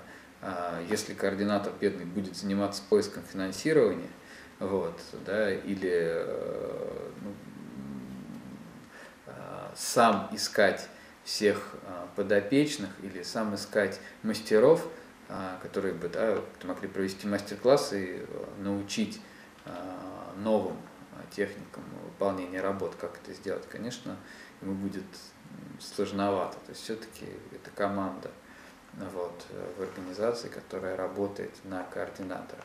И дальше создается, собственно, группа. И следующий момент – это, конечно, поддержка и обучение волонтеров. Вот тоже, что я услышал у Артема, почему мы сами пришли, а, не всегда вот человек вошел в группу и все, пусть там вот плывет и, и учится. А, мы стараемся проводить тренинги не только по навыкам, но и по командообразованию, по а, трудностям, которые встречаются с волонтерами. Это тоже считаем часть волонтерского служения, участвовать вот в этой групповой работе. Вот, а, поскольку целью является долгая, долгосрочная работа каждого волонтера. Вот, почему координатор должен быть сотрудником, то есть человеком, который э, в идеале получает зарплату, да, то есть несет ответственность и как-то а, может а, не сильно задуматься о своем выживании поскольку есть э, те задачи, которые не может э, выполнять волонтер. Сегодня одно, завтра другой э, человек там забыл или не понравилось, или там ушел. Вот. Некоторые задачи должны обязательно выполняться сотрудниками. Это мы уже про это я сказал. А в чем особенность координатора? Что важно координатору прежде всего понимать, что он это вот такой этот хруп, хрупенький мостик, который живет в двух, а, между двумя мирами и соединяет эти два мира. Это мир волонтеров, которые живут вот своим стремлением, порывом а, да, дарить свое время, свои усилия, себя, делать добрые дела, помогать, да, вот так вместе радоваться, вместе вот ощущать то, что они принадлежат а, к сообществу таких же людей, как они живут, которые живут теми же ценностями.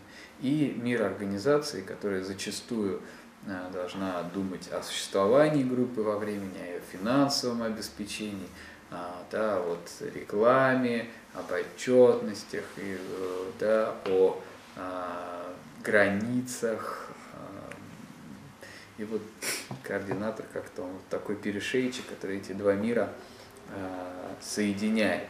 Вот, поскольку, конечно, если вся эта лавина рухнет на волонтера, то, скорее всего, он скажет, о, да это же так же, как на работе, чего я тогда здесь делаю? Вот. Ну, это такая небольшая шутка. Вот. А, и некоторые моменты, что важно для координатора а, по отношению к волонтерам. Естественно, а, когда я только начинал свою волонтерскую деятельность, вот, как-то мой наставник – там, с ним делился идеей, он сказал, что э, запомни, что в тот момент, когда ты оторвешься от земли, то есть сам перестанешь а, участвовать в волонтерской деятельности, вот, а, да, это будет момент раскола, когда ты уже начнешь а, откалываться от организации, вот, и непонятно, чем это будет закончено. Я тут точную фразу не помню, вот, но вот это я запомнил, что если я координатор, я сам должен выполнять э, работу. Может быть, не всегда, а очень редко, но я не должен отрываться от земли, должен сам участвовать в деятельности. Вот. Следующая э, задача координатора, одна из самых важных задач координатора. Э, координатор общается с волонтером, он объясняет ему, что, зачем и как нужно сделать. Вот мы уже с вами говорили, что для волонтера, чтобы он вот как-то мог выполнить, охватить своим умением, должна быть э, небольшая, а, там, да, простая, дробная задача. Вот, э, дозированная ответственность и организованный его труд. Вот. А, дальше, но, естественно, раз он разъясняет, он и ставит эти задачи, он обеспечивает ресурсами. То есть, конечно, там может попросить кого-то заехать купить что-то, но в принципе это ответственность координатора. Все ли есть для выхода, да, в том числе и средства защиты. А, это немаловажно вот, а, координатору. Где-то напомнить волонтерам, что, друзья, мы не забудьте сменную одежду, а вы принесли сменную одежду. А ты уверен, что а, в этих джинсах нужно красить. Вот. Ты уверен, что вот, да, то есть э, и обеспечить, и проконтролировать тоже его ответственность. Вот. Гарантирует безопасность, ну, насколько это вообще можно гарантировать, он да, смотрит. То есть иногда кажется, что а, легко, ну что, мы сейчас эти окна быстренько там поменяем, штапики поставим, вот, да, но для этого только нужно там где-то балансировать, непонятно на каком этаже. Вот, то есть э, координатор за этим следит, что волонтеры не всегда могут оценивать опасность, а ответственность его вот, э, и за жизнь человека прежде всего, и в том числе э, безопасность по отношению к э, благополучателей. То есть если начинается усталость, если начинаются претензии, конфликты, волонтер максимально должен быть от этого огражден. Вот. Э, это координатор, который наедине разговаривает, выясняет, выслушивает претензии, ищет мирные пути а, их разрешения или принимает решение, что, вот, э, к сожалению, дальнейшая деятельность невозможна. Координатор а, объясняет волонтеру, что делать в случае трудностей, проблем, вот, если они возникают, да, куда обратиться, что можно сделать. Вот. Ну и, конечно, принимает работу, благодарит, спрашивает отклик, то есть строит отношения, а, обеспечивает деятельность, безопасность и строит отношения. Вот, а, так, сейчас несколько а, слайдов я хотел показать, но потом мы к этому вернемся. Нет, похоже, не вернемся. Да странно, мне казалось, что я добавлял эти слайды.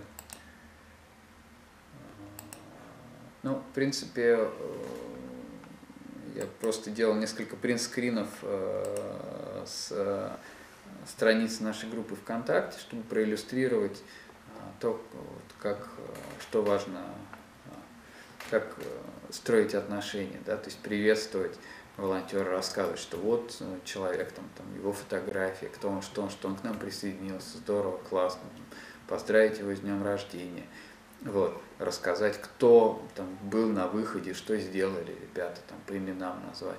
Вот э, это те моменты, которые как бы важны, а, в том числе написать а, такую ну, небольшую мотивационную, может быть, э, речь там к выходу, да, что ребята, работаем а, там-то, там-то, это такая-то семья, у них там такая-то проблема, вот, э, представить сделать то-то, то-то, а, или представить это как мастер-класс. Вот мы говорили про мотивацию, и одна из таких штучек поделись с вами, которая действительно работает, которую нашел вот, э, один из координаторов нашей группы, это представлять это как мастер-класс.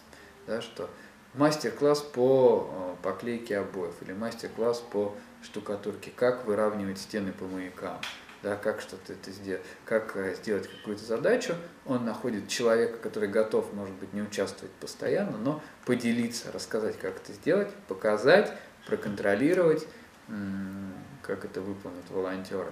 Это всегда интересно, новые навыки, что-то для себя обычно бывает весьма большой отклик. Вот и прорекламировать это через э, ну, социальные сети. Мне кажется, сейчас это самое вот такое все смотрят и эффективное. А, да, может быть, какие-то там фотографии, открыточки, а, то, что сейчас популярно, а, организовать выезд. Вот. Ну, понятно, что рассылать напоминания, личные приглашения. Задача координатора по отношению к группе. А, вот. Это понимать особенности участников, их мотивацию и желания, и подбирать деятельность, и подбирать рост, может быть, да, вот делегировать некоторую а, ответственность, полномочия, исходя вот э, именно из того состояния, в котором человек а, сейчас, да, что, может быть, он пока не готов к серьезным там, да, работам, вот, но он может там, там, убирать, относить, приносить что-то. Ему это интересно. Или там вот, э, наоборот, ему вот важно закрепить тот навык, который он приобрел, поэтому его пока лучше ставить на эту работу. Вот. Э, ну, понятно, что э, внутренняя структура и распределение ответственности, да, мы с вами говорили, кто, что, когда делает, в каком объеме, это тоже важно. Вот, поставить эту задачу. Выстроить систему сохранения и передачи опыта. И координаторы, к сожалению, не вечны. Вот, да, и к тому же, если волонтер не будет расти, тоже не всегда ему будет интересно и радостно оставаться в группе. Поэтому, конечно, координатор должен следить за тем, чтобы опыт, и в том числе опыт руководства, внимательного отношения а, к другим волонтерам, осознание фронта работы, ответственности тех или иных случаях работы, да, чтобы потихонечку это предлагать а, волонтерам. Ну, командообразующую работают, не обязательно тренинги, там, да, сейчас все равно поездки, чаепития, а, праздновать день рождения, какие-то простые моменты, просто после работы там собраться где-то. Вот, все это тоже прекрасно работает. Вот, еще тоже важный момент, это расставание с волонтером. Бывает так, что волонтер он чувствует неудобно. Все уже вроде бы запал прошел или изменилось обстоятельства жизни. Он вынужден расстаться с группой. Вот. И чувствует вину. Конечно, а, здесь координатор может помочь вот эту легкую пережить расставание, что нам было хорошо вместе, но каждый идет своей дорогой. Может быть, они пересекутся. И бывали такие случаи, когда вот через прошествие даже нескольких лет волонтеры снова приходили, возвращались. Вот. Э, было интересно, они прошли путь, и они вернулись просто на новом, на новом уровне. Вот. Помогать волонтеру осознавать свою деятельность и ответственность за группу, да, что волонтер работает, и осознавать группе, что а, целиком да, мы как-то внимательно поддерживаем каждого волонтера в том состоянии, в котором он сейчас, а не стремимся его вот, под общий знаменатель подвести. Ну, это вот пример там, командообразующих тренингов. А какие у нас требования координатору? Это опыт волонтерской деятельности, вот, э, минимум года. Да, он разделяет смысл и миссию целого движения, то есть он понимает, да, на что он направлен что не помощь, социальная помощь благополучателям, а, да, и помощь волонтерам в осуществлении их доброго по, по, порыва да, в организации этой деятельности. Вот, важно, что э, осознавая свою ответственность и инструменты управления, он открыт к мнению и опыту других людей. Конечно, любому человеку важно понимать, что прислушивается к тому, что он предлагает, да, то, что ему важно. Вот. А, действительно, вот эта открытость и способность конструктивно взаимодействовать, даже если, может быть, не очень что-то нравится, это важно. Разглядеть в человеке, который а, хочет быть координатором. Бывал так, бывали такие случаи, и вот честно, это даже можно сказать мой пример, а, когда координатор, человек ответственный, вот ему нравилась эта деятельность, и он э, вот как-то вот сам получал от нее удовольствие, а группа, она где-то была там по боку. Ну, ребята, делаем то-то, то-то, то-то, ну что, хорошо, все ясно, ну давайте. Вот. А, нет, служение координатора в первую очередь сфокусировано вот на группе, на волонтерах и вот на этой связи а группы и благополучатель, группы и организация. Вот.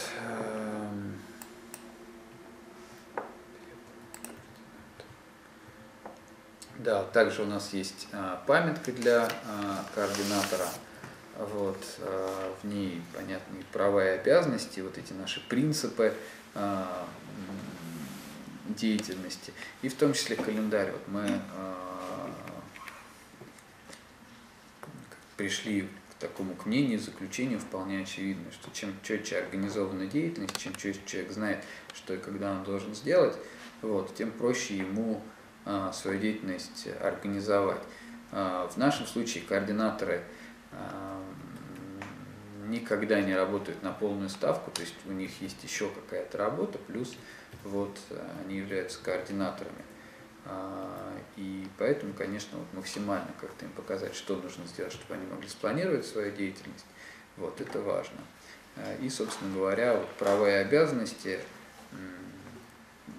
обязанности вытекают из прав. Их у нас равное количество вот, в нашей памятке. И вот там наверное, да, здесь не очень видно в презентации, да, календарь событий, когда и что делать координатору. Вот. Довольно-таки ну, как бы эффективный, а, на мой взгляд, способ организации деятельности. Так, идем дальше. Вот. Итак, а, с толпы волонтерской группы подводим итог по этому блоку, да, что важно для групп. Это ясные вакансии. Что, в каком объеме, когда нужно делать волонтеру. Какие есть правила, что можно делать, что нельзя делать волонтеру. А, это анкета и вот эта договоренность для каждого волонтера, то есть что он берет на себя ответственность, и это прошел период, когда мы знакомились с волонтером, волонтер знакомится с нами. Это организация его труда, то есть когда четко понятно, где, когда, когда он должен приехать, что он должен делать, и что э, для него, ну, его труд обеспечен вот, э, стройматериалами, инструментами. А, это обучение волонтера новым навыкам, его развитие. Это вот поддержки отношения внутри группы. Вот. И последний момент, это волонтерская организация. Ну, э, может быть, это не для всех важно, а, да, если у вас одна группа. Вот. Но обычно интересы разные, к сожалению, проблем и вот направлений, потребностей в помощи много, поэтому обычно в организации существует много групп. Вот у нас их там больше 20, а теперь стало. Вот. И поэтому несколько слов о волонтерской организации.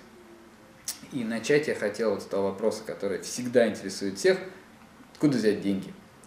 Вот. А, группе ремонтов а, а, и, ну, в общем, взрослым проектам повезло. Мы осуществляем сотрудничество с фондом предания. Фонда нет своих волонтеров, но зато они умеют да, как-то собирать средства. А, у них есть посещаемость сайта, у них есть определенные требования, какой текст, какую фотку разместить, и э, вот что э, денежка приходит. Вот. Если бы мы начали тянуть эту работу, вот, скорее всего, нам бы пришлось или нанимать большой штат сотрудников, вот, которые бы там занимались обслуживанием грантов или поиском. Вот, тоже каких-то крупных спонсоров у нас нету. Вот. И вообще относительно организации, мне кажется, это очень важно разграничить два потока, чтобы внутри они не пересекались. Деньги и волонтеры. Волонтер осуществляет свою бескорыстную, бесплатную деятельность, да, а, не очень думая о том, собственно, где возьмутся деньги. Конечно, мы а, тоже стараемся да, как-то не приучать, но говорить об ответственности. Долгое время мы проводили ярмарки, когда волонтеры делали а, поделки, а, там декупаж, разные роспись стекла, вот, там пекли выпечку, и мы просто продавали у стен монастыря, вот, и на эти деньги уже там закупали, в основном для детских групп, то, то что тогда шло очень активно, расходные материалы, вот. Но в принципе, эти вот потоки желательно, чтобы не, не пересекались. Вот. А, ну, то есть про, про финансы у нас вот так. А, э, группа ремонтов либо осуществляет ремонты, которые не требуют финансовых э, затрат, либо мелкие ремонты из тех стройматериалов, которые остаются – да, например, если мы закупали стройматериалы, и у нас там остался цемент или обои или еще что-то, вот, а, то мы можем это использовать вот на другом объекте. Вот. А, либо а, это деньги, которые собирает для нас предание, и уже на эти деньги мы определяем, что мы можем сделать, что мы можем предложить благополучателям, а что нет. Вот. Вопрос ресурсов важный. Артем, как? Ваш опыт? Ну, поделюсь своим опытом э, нахождения источников. Значит, э, мы могли делать из нескольких источников. Ну, на самом деле нет э, большого организованного потока. Всегда с каждой просьбой у нас отдельная история. А, бывает такое, что э, у подопечного есть э, средства на ремонт, но они не могут оплатить работу. Вот. И это, наверное, 80% ремонтов, которые мы произвели. Э, здесь мы рассматриваем вот как материальная помощь вот в приобретении материалов как самого подопечного, так и его родственников. То есть зачастую бывают родственники тоже приходят на помощь и э, также возмещают стоимость материалов. Э, бывает такое, что какое-то лицо, это либо доброволец, либо э, вообще какое-то стороннее лицо, которое проявляет интерес э, к судьбе какого-то подопечного человека, и он спонсирует ремонт у данного подопечного. Затем у нас есть такая практика, как сбор средств через форум. То есть у нас публикация истории подопечного, нужды Э, стоимость. Э, и через эту тему, через форум откликаются люди, которые готовы сделать пожертвование. Вот. И также я в своей работе использовал активно сайт «Отдам даром». То есть зачастую бывает, э, остаются материалы, вот, которые в последующем не нужны, но э, они остаются, и выбросить жалко, и магазин уже или на рынок там сдать невозможно, но они могут пригодиться нам. Э, то есть э, вот отдам даром нам в помощь. Или я сам публиковал объявление о том, что примем в дар такие-то, такие-то материалы. И вот благодаря таким публикациям, конечно, откликались и Э, люди, которые, у которых э, э, после ремонта, после ремонта оставались материалы, и были те, которые готовы были купить. Или вот по такому принципу я нашел девушку, которая была собственницей магазина по продаже обоев, и она вот всегда нам давала обои под определенные какие-то просьбы. То есть мы задавали ей параметры, э, площадь, которую нам нужно поклеить, э, это для жилой комнаты или для кухни, и она уже на свое усмотрение нам э, жертвовала эти материалы обои. Ну вот так, такие вот у нас источники. То есть такого централизованного потока денежного, где могли бы обратиться, составить смету, и нам бы ее смогли бы удовлетворить, у нас такого не было.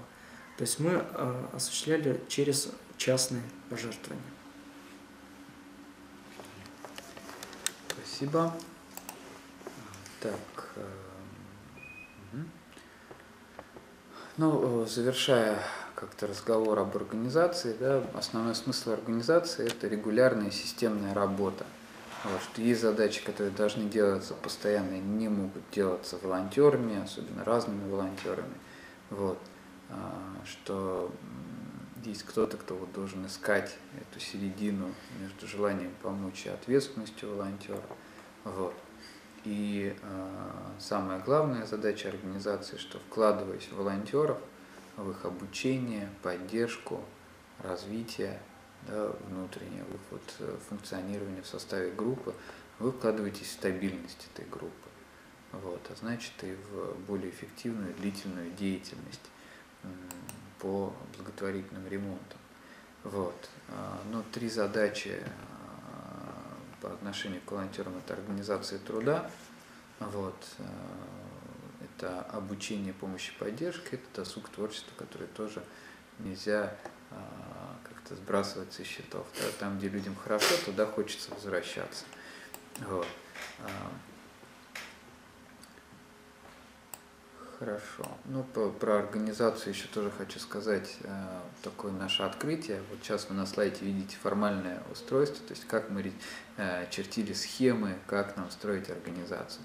Но потом по факту оказалось, что организация все равно представляет из себя вот это.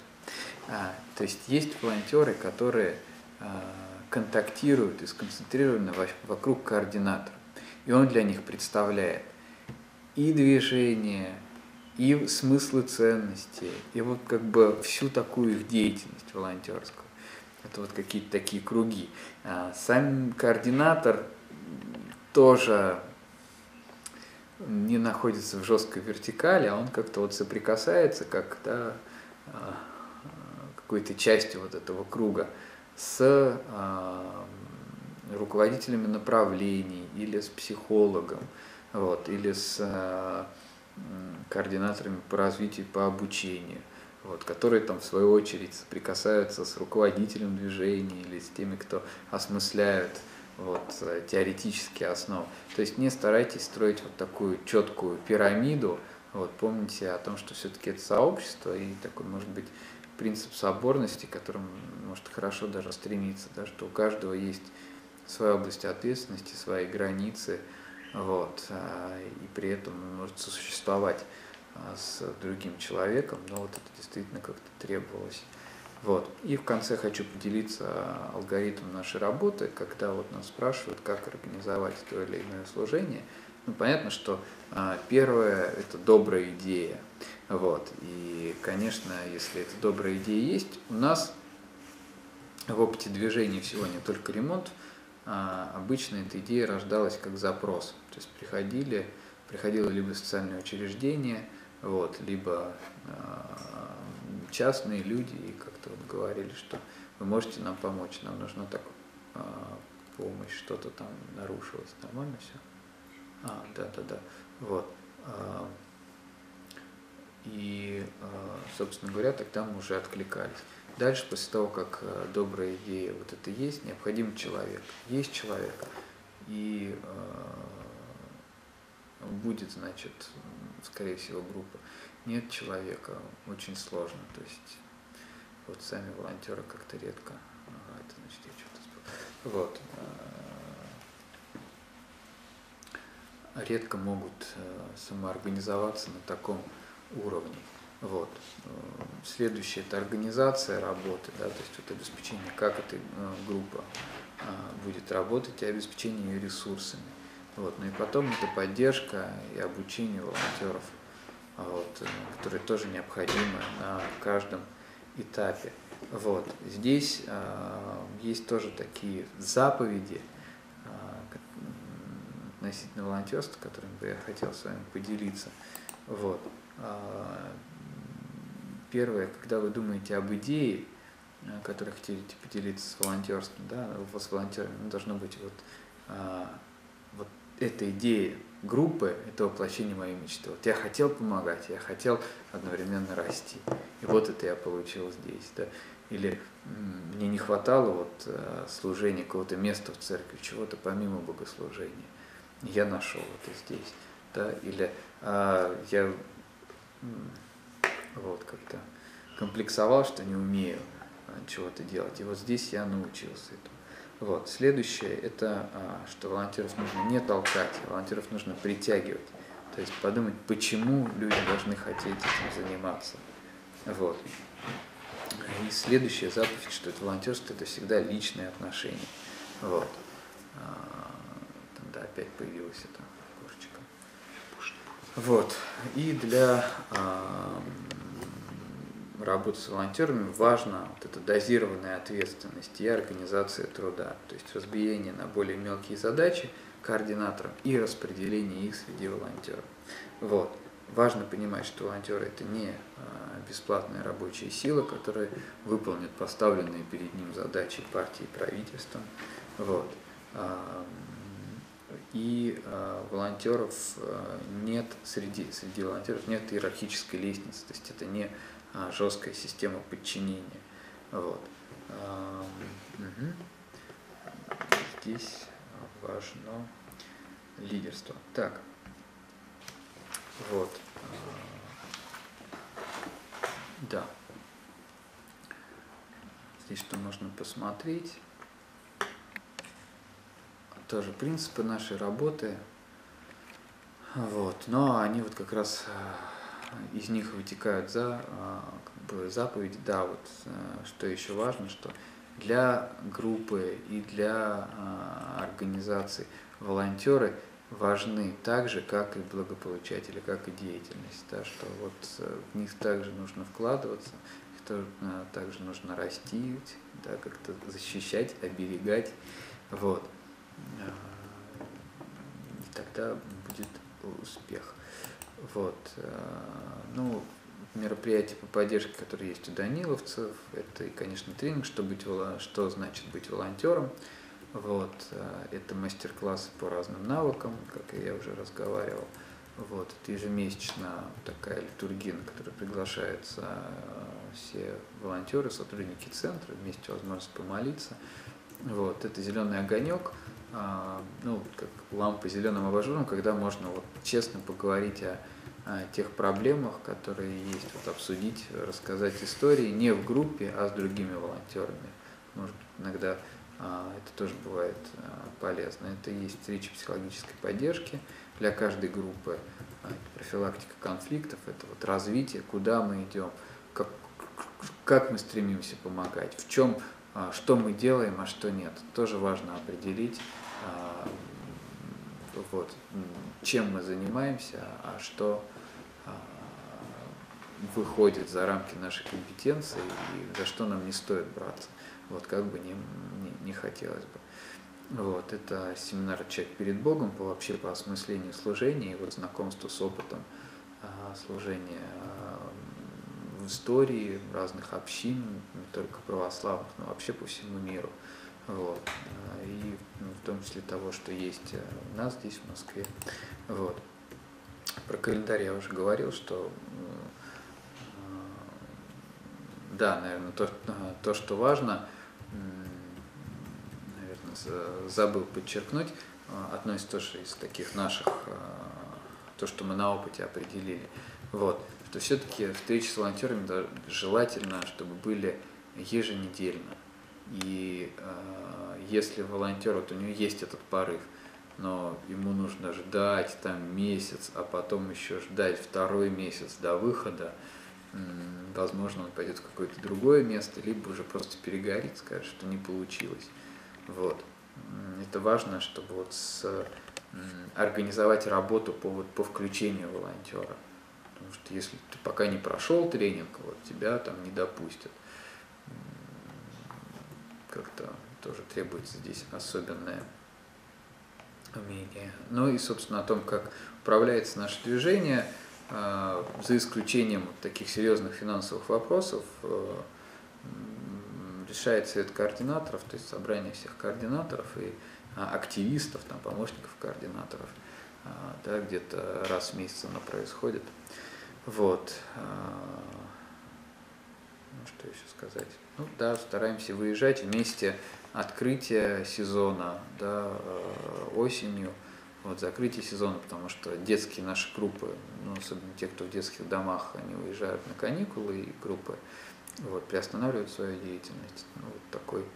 И некоторые наши инструменты, которые мы используем в нашей работе, понятно, что это сайты, новости, обновления, это интерес. Чем более живой сайт или форум, или группа ВКонтакте, да, в зависимости от того, да, чем вы пользуетесь, тем больше интереса людей к ним. Может быть, человек пока не созрел, вот, но он читает, он читает рассказы, он читает отчеты, он видит фотографии, да, как там сегодня, э, да, три девочки и один мальчик там, да, вот, э, установили эти гипсокартонные листы и прочее. Ух ты, класс, если они смогли, неужели я не смогу? Или там это интересно, хочу там да, пойти. Вот. Это Google инструменты, там и диск, э, рассылка, мы активно пользуемся. Вот. А, ну, был опыт а, тоже управления проектами TeamLab, это списки все, чтобы они были доступны. Да? Человек звонит по телефону, хочу, быть волон... хочу делать что-то доброе, хочу быть волонтером. Ой, пока не знаю, что. Ну, там, приходи на собеседование. Или такой человек приходил, вот как. А, да, или благополучатель звонил, чтобы вот э, обеспечить это взаимодействие между разными частями. Вот. А, это смс-рассылка, это действительно телефон. Пока добрый звонок, как дела, придешь, не придешь, никто не отменял, это, наверное, самое а, такое, то, что побуждает волонтера приходить, вот, самое эффективное. Вот. А, ну и а, тоже несколько слов о том, что же делать, если волонтер выгорел. Скорее всего, значит, он либо взял не по силам деятельность, да, то есть то, что он не может выполнить, либо то, что это вообще невозможно выполнить, да, либо что он пока не, не дорос, либо меняется уровень его мотивации, то есть вот та мотивация, с которой он пришел, он как-то ее удовлетворил, вот, и вроде бы как бы все хорошо, уже деятельность стала привычной, но чего-то не хватает, вот. Нужно помочь ему определиться с направлением его доброй воли и э, поддержать именно то, что вот ему хочется. Может быть, перейти в другую группу, либо приостановить, либо стать вот дистанционным волонтером, да, то есть э, помогать вот в обзвонах, а, в организации, в поиске некоторых моментов. Вот это понять причину вот этой усталости, а, да, с чем это связано. В ремонтах частенько это бывает связано вот с ну, разочарованием некоторым благополучателям, что они ожидали быстро, красиво, много, а мы можем предложить вот, весьма ограниченную помощь, может быть, не всегда так, как они представляли и хотели. Да? Вот это же мечта есть у человека, он живет, что кто-то придет и ему сделает красиво, и мы стремимся к этому. Но вот когда один раз, второй раз – вот. Волонтеры тоже это чувствуют. Вот. А, может быть, это связано со слишком авторитарным а, стилем координатора. Да? То есть вот это отцовство действительно координатора, когда он заботится, он организует, он дает, но вот он не, не, не дает и не подавляет инициативу, старается найти для нее место, либо вот как-то прислушаться к ней. Вот, а, с этим может быть связано. И э, тут важно избежать появления чувства вины от того, что волонтер уходит или что ему ну, вот, перестало э, да, быть особенно жалко, перестало трогать его сердце, вот, там, да, э, эти бабушки, старушки там, или инвалиды, которые вот, все время в этих стенах и сложно бывает выйти. Э, казалось бы, ненормальное, да, но вот что-то произошло внутри человека, да, пока вот а, у тебя так. То есть э, вина от того, что человек уходит или что ну, он э, да, как-то перешел, может быть, на новый уровень, а, нужно помочь вот как-то, чтобы ее не было, этого чувства вины. Вот. Либо человек осознавал, что оно не, а, как бы не, не настоящее, не обоснованное. Вот. Если волонтер решил уходить, это было, наверное, тоже для меня открытием, вот. На одном из выездов нам там, там обсуждали, нам задали такой вопрос. Как вы думаете, что будут чувствовать дети, ну это были детские выезды, когда вот мы вдруг нам запретят, мы там не сможем к ним больше ходить. И а, ну, конечно, мы стали нагнетать краски, говорили, мы будем, они будут чувствовать покинутость, предательство, они не смогут никому верить. Вот, пока один а, из наших сотрудников сказал, а с чего вы взяли? Может быть, они будут чувствовать благодарность за то, что это было. Вот. И вот это, наверное, важно. Благодарность за то, что человек был с нами, что вот э, в этом мире он прошел определенный отрезочек пути вместе с нами, что то, что он мог, то, что ему было по силам, по возможностям, а, да, он, он дал действительно от чистого сердца, и что у него есть этот опыт а, взаимоотношений, принятия границ, принятия того, что не всегда это радостно и весело, но что он может э, себя дарить, и есть люди, которые его могут в этом поддерживать, и что он может вернуться, может быть, либо в другом качестве, либо ну, так же, как волонтер или в другой группе, ему всегда будут рады, что это не конец. Вот, э, в принципе, вот все, что, чем хотел поделиться. Информации было много. Я надеюсь, что я вас не особенно утомил. Вот, голос немного монотонный. А, но если есть вопросы, постараемся на них ответить. Хотят пускать посторонних людей домой. Действительно, это очень хороший У вопрос. многих есть не очень хороший опыт помощи добрых людей, что делать в таком случае. Мгм. Ну, попробую ответить я на этот вопрос. А, да, бывает э, такое, что подопечные наши очень осторожно относятся к тем людям, которые к ним приходят. Вот, но э, надо, надо понять, с чем это связано. Бывает э, причина в самих подопечных, что они просто чрезмерно недовор, недоверчивы к людям, которые к ним приходят. Просто, ну, нужно успокоить тем, что, э, то есть, можно э, дать проверить паспорт, да, то есть записать э, данные, то есть это фамилия, имя, отчество, э, где прописан, э, ну вот такие какие-то основные паспортные данные, которые подопечный считает нужным э, записать.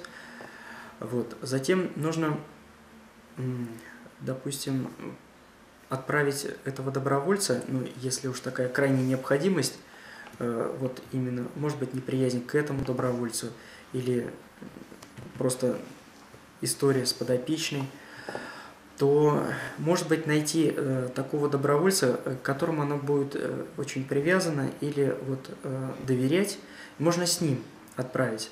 То есть у нас, э, если мы говорим о подопечных, которые у нас э, на постоянном, на постоянной основе, и и есть прикрепленные э, добровольцы, которые к ним ходят э, еженедельно, там, ежедневно, в зависимости от ситуации подопечной. И э, вот если мы говорим про ремонтника, то отправить э, вместе вот с этим добровольцем, который ходит на постоянной основе. Если э, подопечный больше доверяет координатору, да, ну, в силу того, что уже часто общались, что лично знакомы, то, может быть, что-то э, сделать и нужно координатору самому. Ну, то есть, э, вот, ну, на самом деле, вы должны сами тоже быть уверены в, в добровольце, что он действительно э, человек, которому можно доверить, который не причинит никакого вреда. Вот. И если у вас есть какие-то сомнения, то пойдите вместе с ним. Вот. Или, э, ну, может быть, если не хотите отправлять одного, отправьте э, ну, двоих, чтобы была э, более объективная э, оценка ситуации, чтобы как-то вот получить э, ситуа- ну, характеристику от двух человек уже. Вот. Зачастую я на своем опыте, если были такие ситуации, когда подопечная очень насторожена, я, я ходил сам. Ходил сам. Если я что-то не умел делать, да, и я брал с собой добровольца, который я знал, что это сможет сделать, но я был гарантом таким уверенности, э, вот, безопасности подопечной. И, ну, соответственно, и чтобы вот не было нареканий в сторону добровольца, который тоже зачастую иногда бывает и не, не всегда виноват. Наверное, ответил. Ну, нам, наверное, чуть проще в этом плане, поскольку большинство все-таки заявок э, люди сами к нам обращаются. Если же это из органов соцзащиты, то, конечно, а, мы стараемся не то, что просто нам передали телефон, нам звонить, да, чтобы все-таки органы соцзащиты позвонили, сказали, что вот есть такая возможность, есть добровольцы, возможно, они вам могут помочь. Хотите обратиться, да, вот такой телефон, позвоните там. Вот. А, плюс а, все-таки, ну, наше движение существует при Даниловом Московском монастыре, и многие его знают, и немалая доля наших подопечных как-то вот связана с монастырем, вот, э, либо его прихожане, либо как-то там были и увидели наше объявление, вот. Естественно, а, важны вот эти первичные контакты, что сначала звонит либо а, сотрудник движения, либо координатор, вот, он рассказывает, он спрашивает, он выясняет, а что у вас, а как у нас, вот, да, то есть происходит первичная встреча. Потом а, обычно а, мы выезжаем а, уже на место, мы смотрим, как-то беседуем с человеком, вот, рассказываем ему о нашей деятельности, а что он планирует делать, там, да, как-то вот показываем иногда фотографии да, на наших объектов. Вот. Уже установлено. Потом мы стремимся к тому, чтобы волонтеры не приезжали на объект одни. Все-таки есть координатор, и координатор а, обеспечивает эти дни. Заранее договаривается. В принципе, а, в правилах у нас прописано, что волонтер один а, к подопечным не ходит. Вот. Именно чтобы избежать разного рода вот, искушений, таких опасных ситуаций, группа. Приезжает группа, дни установлены, заранее договорились, мы к вам приедем в субботу, вас столик, это хорошо, хорошо, там, да, вы нас ждете, ждем, звоним, а, приезжаем, здравствуйте, уже нас знают. И вот координатор, в принципе, он вот такое лицо. Плюс, ну, действительно, это а, во многом какая-то свобода выбора людей, да, как, а, как они относятся. Может быть, они пока не дозрели, дозреют. Вот. Иногда перезваниваем, спрашиваем, как у вас дела, что-то поменялось, не поменялось. Вот. Но основное, конечно, это то, что волонтеры не ходят по одному, вот, а ходят строго определенные дни а, с предварительного звонка обязательно координаторов и а, с его присутствием, либо с присутствием ответственного волонтера, то есть его заместителя, человека, который там а, долго был и уже как-то может его подменять. Ну, здесь э, задают вопрос, э, как связаться с Артемом Туршем. Я думаю, что для передачи материалов, да, я правильно понимаю? А, ну, я так понял, что поселок Воскресенское, и, но а наша деятельность, она больше сориентирована в городе Москва.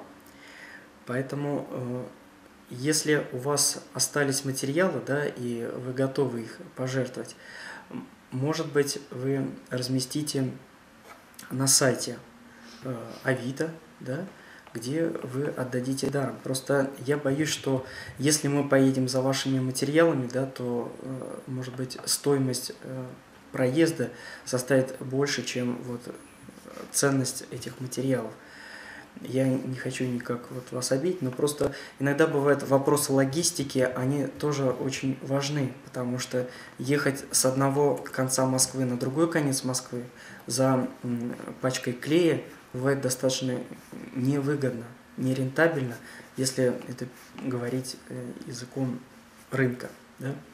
То есть все равно мы э, и ценим и трудозатраты.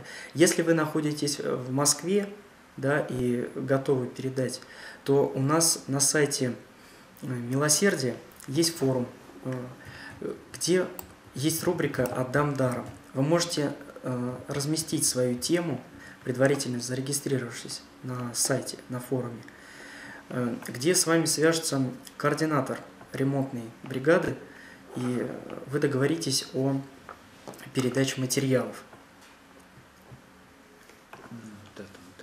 Так. Москва от метро Техностан. А, хорошо, это, в принципе, наверное, не так далеко, и э, двери, они, я скажу, что все-таки имеют ценность, да. Э, я предлагаю вам оставить э, свои координаты на сайте, вот, www.милосердие.ру, форум, э, форум добровольцев. Либо сейчас э, вот можете оставить свой контактный телефон, и я вам перезвоню, и мы, мы сможем с вами договориться. Вот, если есть вот потребность такая вот отдать, и у нас потребность принять. Ну, вот вопрос, выезжаете ли вы в другие города, чтобы делать ремонт? Ну, Даниловцы нет. Мы только в Москве, к сожалению, зачастую в будни это на пару часов, если еще дорога от Москвы занимает, мы поняли, что вот это в нашем случае невозможно, но мы поэтому мы стараемся делиться опытом в надежде, что вот такие местные сообщества, они тоже будут помогать. Вот. Ну, что касается практики э, службы милосердия, то э, сейчас э, вот производятся ремонты в близлежащих к Москве городам.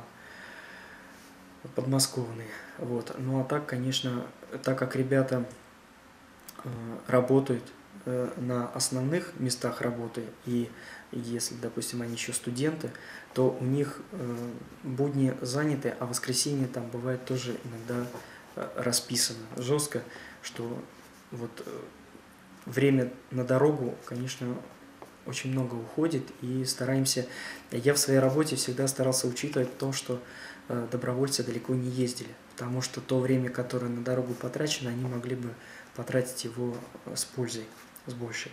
Ну, я не говорю, конечно, про э, добровольцев, которые обладают какими-то профессиональными навыками и которые ну, готовы ехать, несмотря на удаленность от метро или от своего места проживания, или это еще от каких-то пунктов, в которых они находятся.